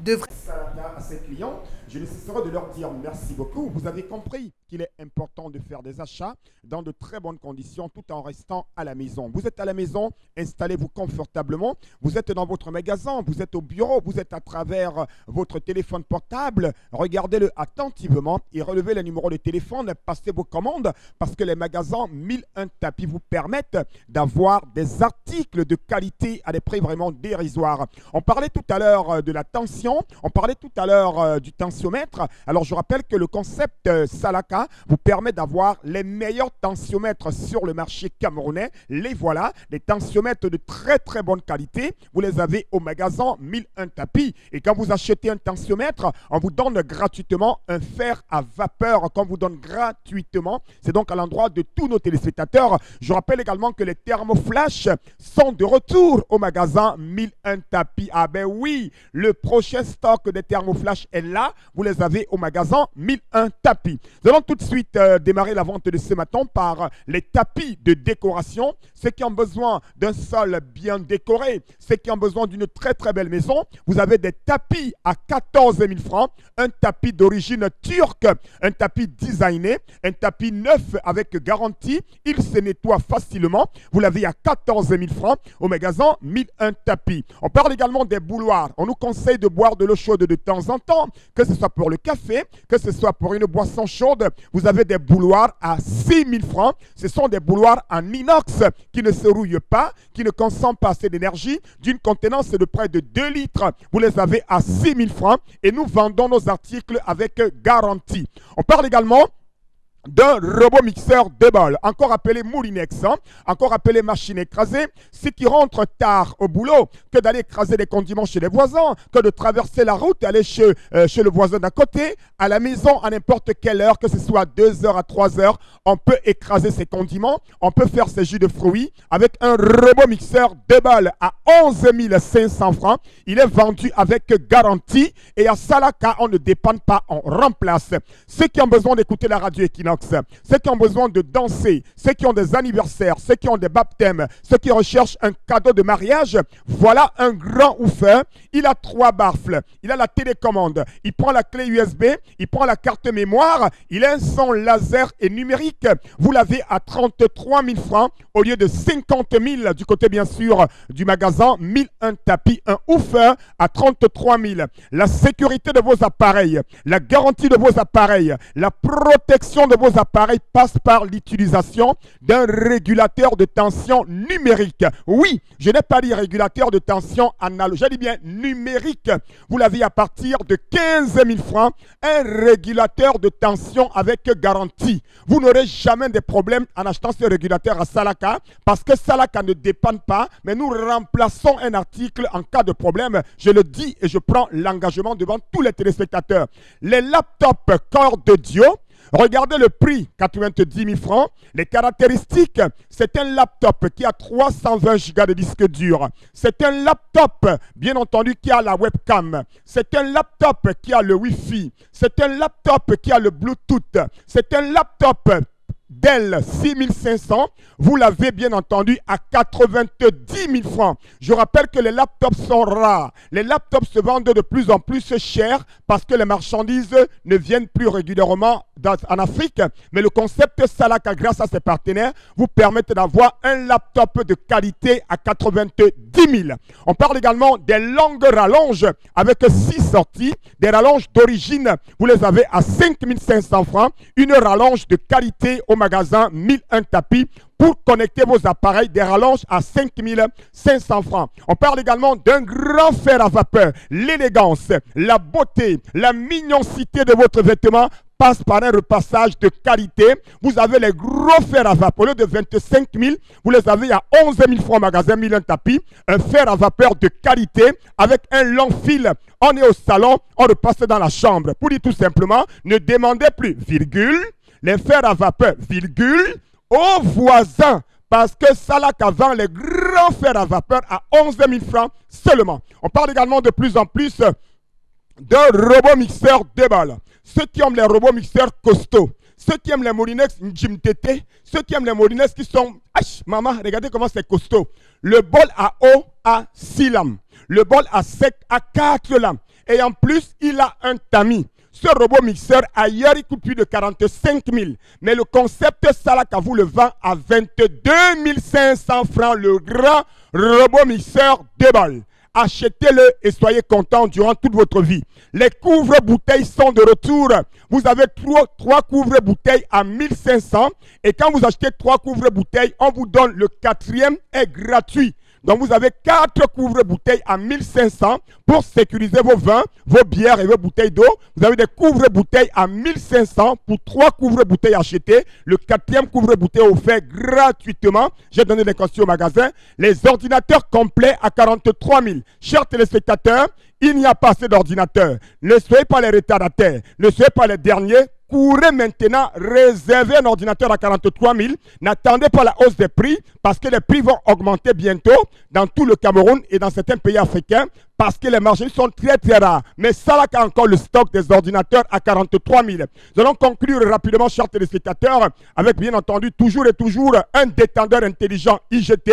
Vous l'avez à 11 500 francs magasin 1000 un tapis. Les détendeurs qui sécurisent la bouteille de gaz, vous les avez à 11 500. Les friteuses pour faire frire les plantains, les pommes à 25 000. Regardez comment c'est Nyanga. Les corps I5 à 150 000 francs. 320 disque dur, robot mixeur 2 balles, 11 500, moto tenye sengalemba tatan, bio yando magasin 1000 tapis, ordinateur complet 43 000, régulateur de tension à partir de 15 000 francs, fer à vapeur à 11 000 francs, détendeur intelligent IGT, 11 500. On vous Merci dit- beaucoup et rendez-vous au magasin 1001 Tapi. Nous allons nous y rendre, Constilamine. Merci infiniment pour votre passage ce matin et merci à ceux et celles qui vous font en permanence confiance. Vous restez avec nous, Madame, Monsieur sur Equinox Télévision et vous êtes très nombreux chaque jour à réagir aux différents sujets qui gravitent euh, autour de la toile et d'ailleurs en tant que Camerounais, vous aussi vous vous exprimez. On va dire peut-être un territoire assez libre où chacun peut apporter son avis sur des sujets et vous, vous en avez fait pour nous quelques choix, Isabelle Carozopet. Oui, euh, on va donc euh, aller avec la revue des réseaux sociaux et rester bien sûr euh, Covid-19 qui l'impose donc. On va euh, parler donc euh, de cette conférence du santé aux délégués régionaux qui parlent donc évidemment du démarrage de la vaccination contre le Covid-19. Voilà, il parle donc de ce démarrage qui sera donc euh, imminent, le démarrage donc imminent de cette activité où on, vous pourrez donc euh, euh, lire cette correspondance dans laquelle euh, ce ministre santé dans le dit du ma- démarrage imminent de cette euh, activité dans laquelle il appelle le donc tous les Camerounais bien sûr à, à- se vacciner et précise bien et bien que le vaccin reste donc non obligatoire. Il invite donc tous ces acteurs, c'est-à-dire les délégués régionaux, à commencer donc euh, la sensibilisation, à rappeler bien sûr que ce n'est pas obligatoire, mais il est nécessaire que tout le monde se fasse vacciner. Voilà justement euh, euh, dans ce communiqué, sinon le docteur Manaouda, Manaouda j'allais dire euh, Malachi, le Cameroun donc a donc bénéficié des premières doses du vaccin AstraZeneca. Voilà. Voilà. Le démarrage est imminent, donc d'ici, n'importe quand même aujourd'hui ou demain ou après-demain, euh, J'avoue déjà que on peut déjà le commencer sujet à est très intéressant. Et il a toujours donné l'ordre de priorité, ça il faut toujours le rappeler, commencer bien sûr par le personnel Le- de le santé. conseil euh, scientifique a donné son avis Pas encore. et on demande déjà les... Le conseil scientifique n'a pas à donné tout son moment, avis. Je vous le disais dernièrement aussi. Quand j'avais Caron dit, non, il a dit que c'est pas obligatoire. Je vous dis, il faut lire les termes politiques. Mais jusqu'ici, même dans ce il le dit encore que c'est pas Chers obligatoire. amis, les discours politiques sont trompeurs si vous ne savez pas lire entre les lignes. Si vous ne savez pas lire entre les lignes, le gouvernement a pris l'engagement de vacciner la population camerounaise. Qui a moins de, Mais qui a- qui n'a pas 1000 morts de a pris cet Covid-19. engagement. Mais après, on vous mal- malaxe dans un langage compliqué. On veut dire le conseil scientifique. Le conseil scientifique n'a pas encore donné son avis. Alors, on se demande Et bien, on se demande bien, étant donné que le ministre de la Santé, Manauda Malachi, justement, lorsque le vaccin AstraZeneca commence à être refuté par certains pays de l'Union europé- européenne, il fait une sortie, il fait un tweet où il dit effectivement qu'il y a des contestations, enfin on va le paraphraser, qu'il y a des contestations, mais des pays en Afrique l'utilisent sans problème. Et même en Europe. Et même en Europe, c'est un pays. Alors, alors le, le vaccin semble faire un problème aujourd'hui. Il convoque le comité scientifique après avoir validé le vaccin. C'est dire qu'il a mis le, le conseil scientifique en dessous de, sa- de son engagement, de sa décision. Quand ça ne va pas maintenant, on convoque ce conseil. Et plus grave, le conseil ne donne pas son, son résultat final, on vous impose le vaccin. Comment comprendre ça? C'est quoi cette gymnastique? C'est une politique, on soupçonne une politique d'assassinat collectif des populations. Vous ne pouvez pas dire ça autrement. Deuxièmement, nous savons que l'État de Cameroun n'a pas d'argent. Et Madame Robinson, quand elle était en fin de séjour au Cameroun, c'était l'ambassadrice de France au Cameroun. Quand elle rentrait, elle avait dit ceci, sa dernière interview. Le Cameroun aide la France à porter sa voix et le Conseil des Nations. Donc, nous sommes à la remorque de la France. Lorsque la France vous dit, bon, nous on peut essayer, vous vous faites. C'est comme ça que ça se fait. Et ça se justifie par le fait que quand Covid a commencé, Quand même, bon, bon, Ben jusqu'à Oui. quand Parce que là, là, attendez, on en parle. Jusqu'à quand Comment est-ce que des jusqu'au pays... jour où vous allez avoir votre souveraineté, vous allez Pourquoi non de le. Camerounais laisse justement le ministre de la Santé faire Pourquoi le chef de l'État lui-même, qui selon d'ailleurs ces documents, laisse entendre que c'est sous haute instruction du chef de l'État, comment est-ce qu'on peut interdire un vaccin Mais les Camerounais sont muets chez eux, attendent qu'on vienne les vacciner, parce que le ministre aurait dit que ce n'est pas obligatoire. Mais ceux qui pris les vaccins aujourd'hui, les conséquences qui vont en découler, si jamais on, on aboutit justement à la modification des ADN, comme certains laboratoires le disent en Europe aujourd'hui, qui sont ceux qui vont subir? Les Camerounais ou bien le ministre lui-même? Les Camerounais. Mais c'est incroyable quand C'est même. pour ça que je soupçonne. Bon, vous avez vu, je pense que Kinos avait montré l'image de ce médecin dans une école à Neubel qui a dit Je vais vous vacciner, vous ne voulez pas rentrer avec votre enfant. Il avait montré cette image-là.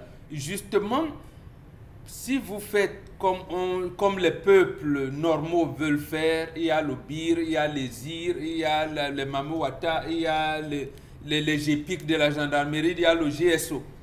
C'est ça, c'est comme. Donc en fait, on provoque les Camerounais pour les transformer en chair à canon. D'autres à dire pour vous tirer dessus.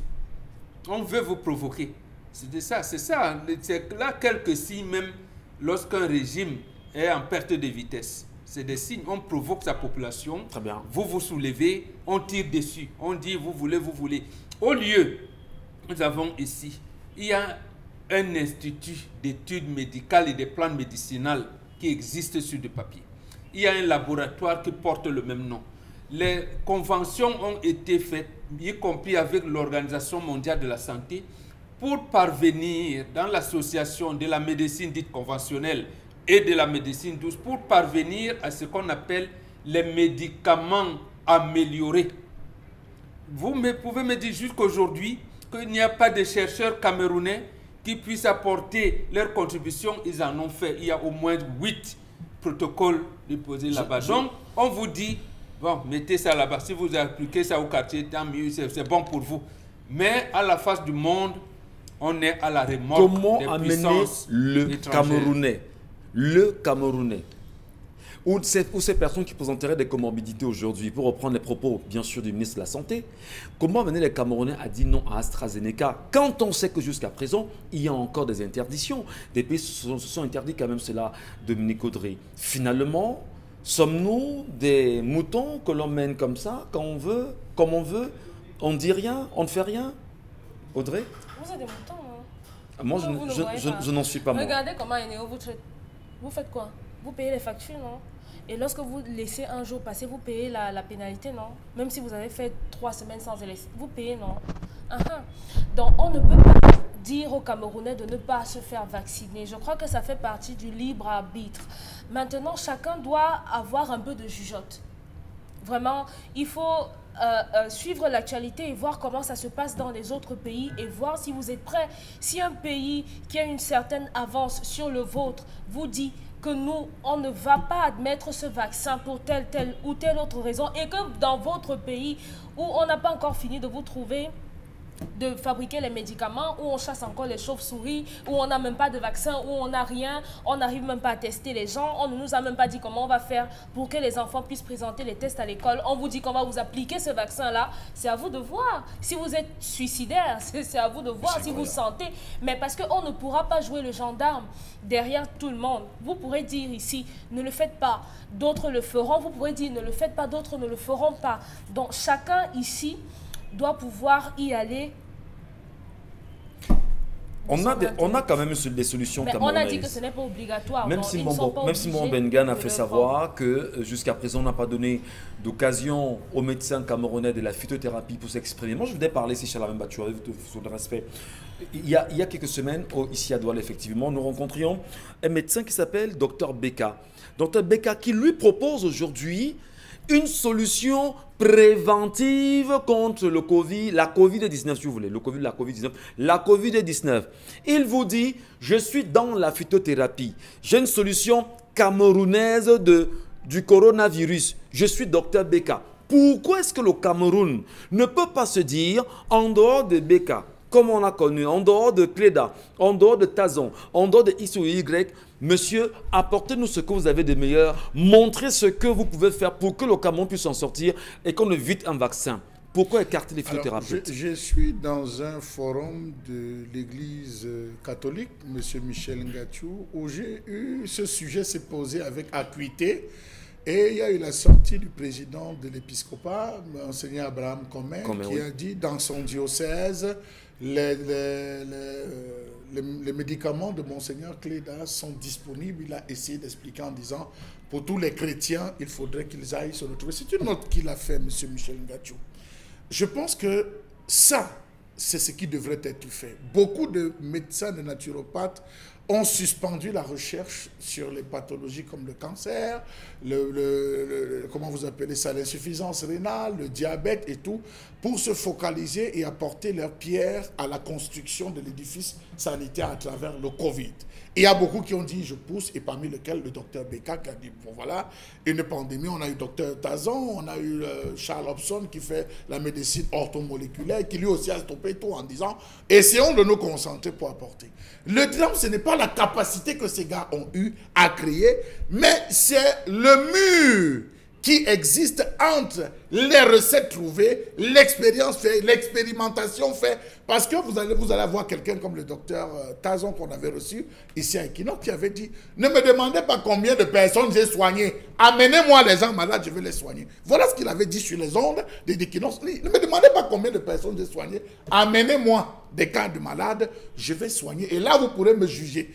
Quand est-ce que le ministère se rend compte que nous avons des gens qui travaillent? Qui veulent, ils prennent la peine de quitter chacun de ces différentes régions et venir dire voici ce qu'on a fait. Si vous avez des malades, allons à l'hôpital. C'est trois gouttes converses dans un demi-verre d'eau, c'est deux gouttes, deux gouttelettes converses. Faites boire le matin, à midi, le soir. Si le gars l'a tous encore demain, si le gars a encore des coulées nasales, vous changez mon nom.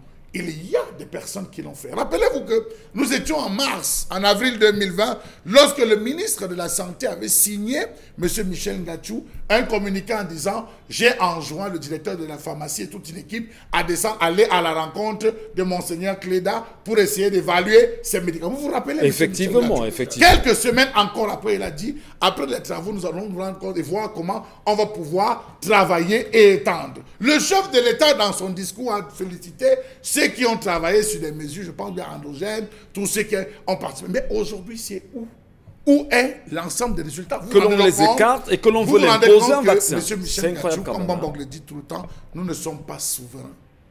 Le Cameroun n'est pas souverain. Nous sommes encore sous la clume, monsieur Michel. Nous, nous sommes encore sous le joug de la mère patrie qui impose. Nous avons ratifié, monsieur Michel Ngachou, beaucoup de conventions, beaucoup de traités, on dans tous les domaines. Et ces traités nous empêchent, à un moment donné, de regarder notre plante des pieds et de dire, si on essaie de faire, est-ce que nous n'irons pas en violation avec ci, nous n'irons pas en violation avec ça? C'est tel pays qui nous fournit pour le palu, c'est tel pays qui nous fournit les vaccins antirabiques, c'est tel pays qui nous fournit ceci. Nous travaillons avec tel laboratoire. On nous a imposé de travailler avec tel ou tel, tel laboratoire. Nous sommes dans tel lobbying. Est-ce que le fait pour nous de mettre en avant ceci ne va pas nous pénaliser Je pense que c'est autant de questions sur lesquelles ils sont en train de Isabelle Carosopet. Oui, je, je crois qu'il y a une donnée simple et claire.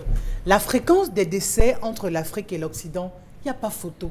Il y a un grand fossé. il y a- le fossé est énorme. Il est tellement grand que je ne comprends pas l'empressement du Cameroun à se tourner vers ce vaccin.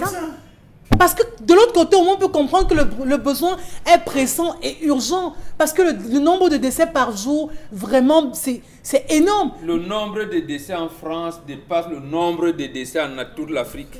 Mais pourquoi donc le Cameroun devrait commencer à tergiverser sur un vaccin que pays occidentaux qui sont même attendez, victimes disent attendez parce que vraiment les effets secondaires semblent être tellement importants. Il ne faut pas qu'à côté d'une catastrophe, on crée encore une autre Quelles sont catastrophe. les commissions Vraiment. Quelles sont les commissions qui ont été prises en vue de, de l'imposition de ce vaccin au Cameroun? C'est la question que vous devez vous poser. Qu'est-ce qu'on a pris en haut en disant qu'on vous rassure?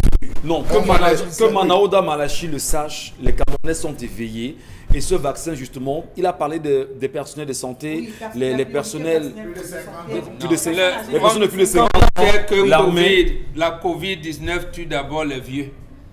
Il faut que ces vieux-là, que le gouvernement commence d'abord à se vacciner, on voit. Voilà. Et après, maintenant, le corps médical. C'est d'abord les vieux. Merci.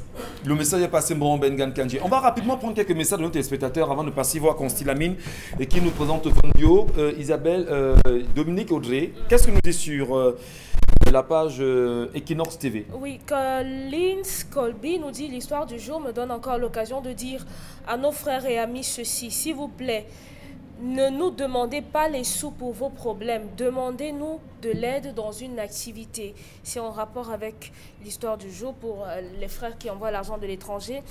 Il n'est pas seulement paresseux, il est irresponsable. Pourquoi ne pas demander à ses frères de l'aider à développer une activité pour lui? Marie-Claude nous dit que les femmes d'aujourd'hui ne sont pas tombées du ciel. Ça, c'est à l'endroit des hommes du plateau. Ils ont eu des pères comme vous, responsables de leur éducation, non Auriez-vous sélectionné des messages? Voilà, non. Et, et les, et les- et les hommes d'aujourd'hui sont tombés du ciel. Ah ben non, Non, Dominique Audrey. Michel Marie-José que Garde- les garde hommes- tes organes. Les, hommes d'aujourd'hui, sont tombés du ciel. Et ils n'ont pas de père et de mère. Comme si les filles d'aujourd'hui ont fait le commandes. Voilà. On, prendre les messages, etc. Bombok. On prend les messages. Aurel Celia nous dit Tu t'amuses. Dès qu'il a un peu d'argent, il t'abandonne pour épouser une panthère. Genre, tu n'es plus son goût. Tu lui rappelles la souffrance. Non, non, non. C'est Aurel la Je vous, je vous en prie. Prenez-nous les messages rapidement. Fabrice Luther se pose la question de savoir si on a mangé le riz des éléphants qui sortent de- du parc, On parle bien du sorgho et du mil. de la nourriture qui était destinée aux éléphants. Et c'est parti où? D'accord. Mhm. Et Le budget, les visites, il n'y a plus de visites, il n'y a plus l'État ne renfloue plus les caisses du parc de Waza. Conséquence, les, les animaux sont obligés de souffrir. Ce Camerounais compliqué. Dominique, rapidement les, les messages. Oui, il faut trier, Michel. Ah, ce qui vous Elle a- euh, Carole a raison. Tu vas voir un homme pauvre comme une souris de bépanda sans caleçon, mais c'est lui qui trie les femmes plus que ceux qui sont stables.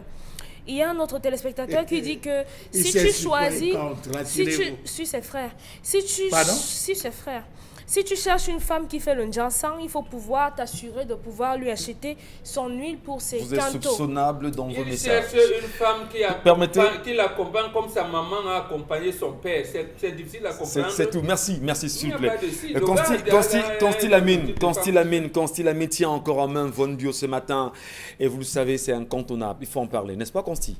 C'est vraiment incontournable. Il est important de consommer régulièrement les compléments alimentaires. Garder la ligne, garder la forme, garder la santé, garder la bonne humeur. Consommer régulièrement.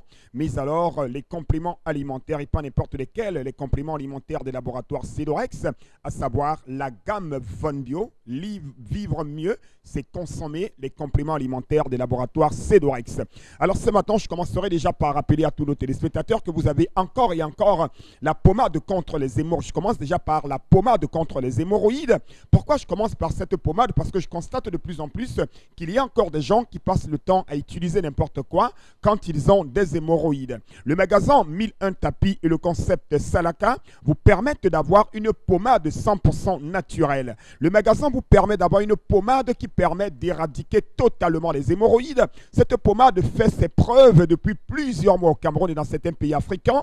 Il y a plusieurs personnes aujourd'hui qui devaient être opérées, qui n'ont plus jamais été opérées parce qu'ils ont utilisé la pommade contre les hémorroïdes. Vous connaissez quelqu'un qui en souffre, vous souffrez des hémorroïdes, quelle que soit la ville, quel que soit le pays, appelez tout simplement les numéros du concept Salaka et passez votre commande. C'est une pommade 100% naturelle qui est à la portée de tout un chacun. Chacun peut l'avoir parce que le prix est un prix très très accessible. C'était donc là une, une annonce à l'endroit de tous ceux qui nous regardent ce matin, qui souffrent des hémorroïdes, qui connaissent ceux qui en souffrent, de ne plus utiliser n'importe quoi. Vous avez la solution. Et la solution, c'est la pommade contre les hémorroïdes qui est en vente au magasin 1001 tapis. Nous allons tout de suite euh, passer à notre complément alimentaire du jour. C'est bien entendu la gamme Von Bio. Ah ben oui, la gamme Von Bio, c'est une gamme variée. La gamme Von Bio, c'est une gamme complète. Et dans cette gamme, vous avez un complément alimentaire qui permet de réduire les complications du diabète.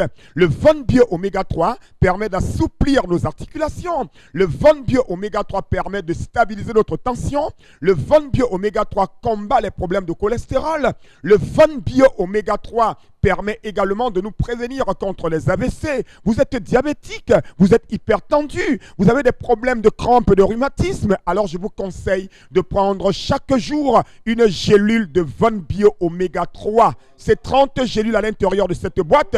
Le prix normal est de 6 000 francs, mais je l'ai dit depuis lundi, le 15 mars jusqu'au samedi 20 mars, vous l'avez à 5 500, la boîte à l'occasion de la journée mondiale des consommateurs. Donc profitez de cette réduction et achetez votre Von Bio à 5 500 jusqu'à samedi prochain. Jusqu'à samedi prochain. Merci beaucoup. Ne l'oubliez pas. Nangadef à tout le monde. Nangadef, mon frère, et Nietzsche également. Pour saluer ceux qui nous regardent bien évidemment au Mali ce matin. Nous vous saluons vous aussi et qui nous regardent à travers le continent africain. N'oubliez pas le rendez-vous. C'est bien sûr de lundi à vendredi entre 10h et 12h sur Equinox Télévision, basé bien sûr au Cameroun. Et nous sommes là pour vous dire encore Camerounais, n'oubliez jamais, restons éveillés, allumons nos cerveaux. Si vous ne faites pas la politique, la politique va vous faire. Et au pire des cas, au Cameroun, elle va vous broyer. À demain, 10h.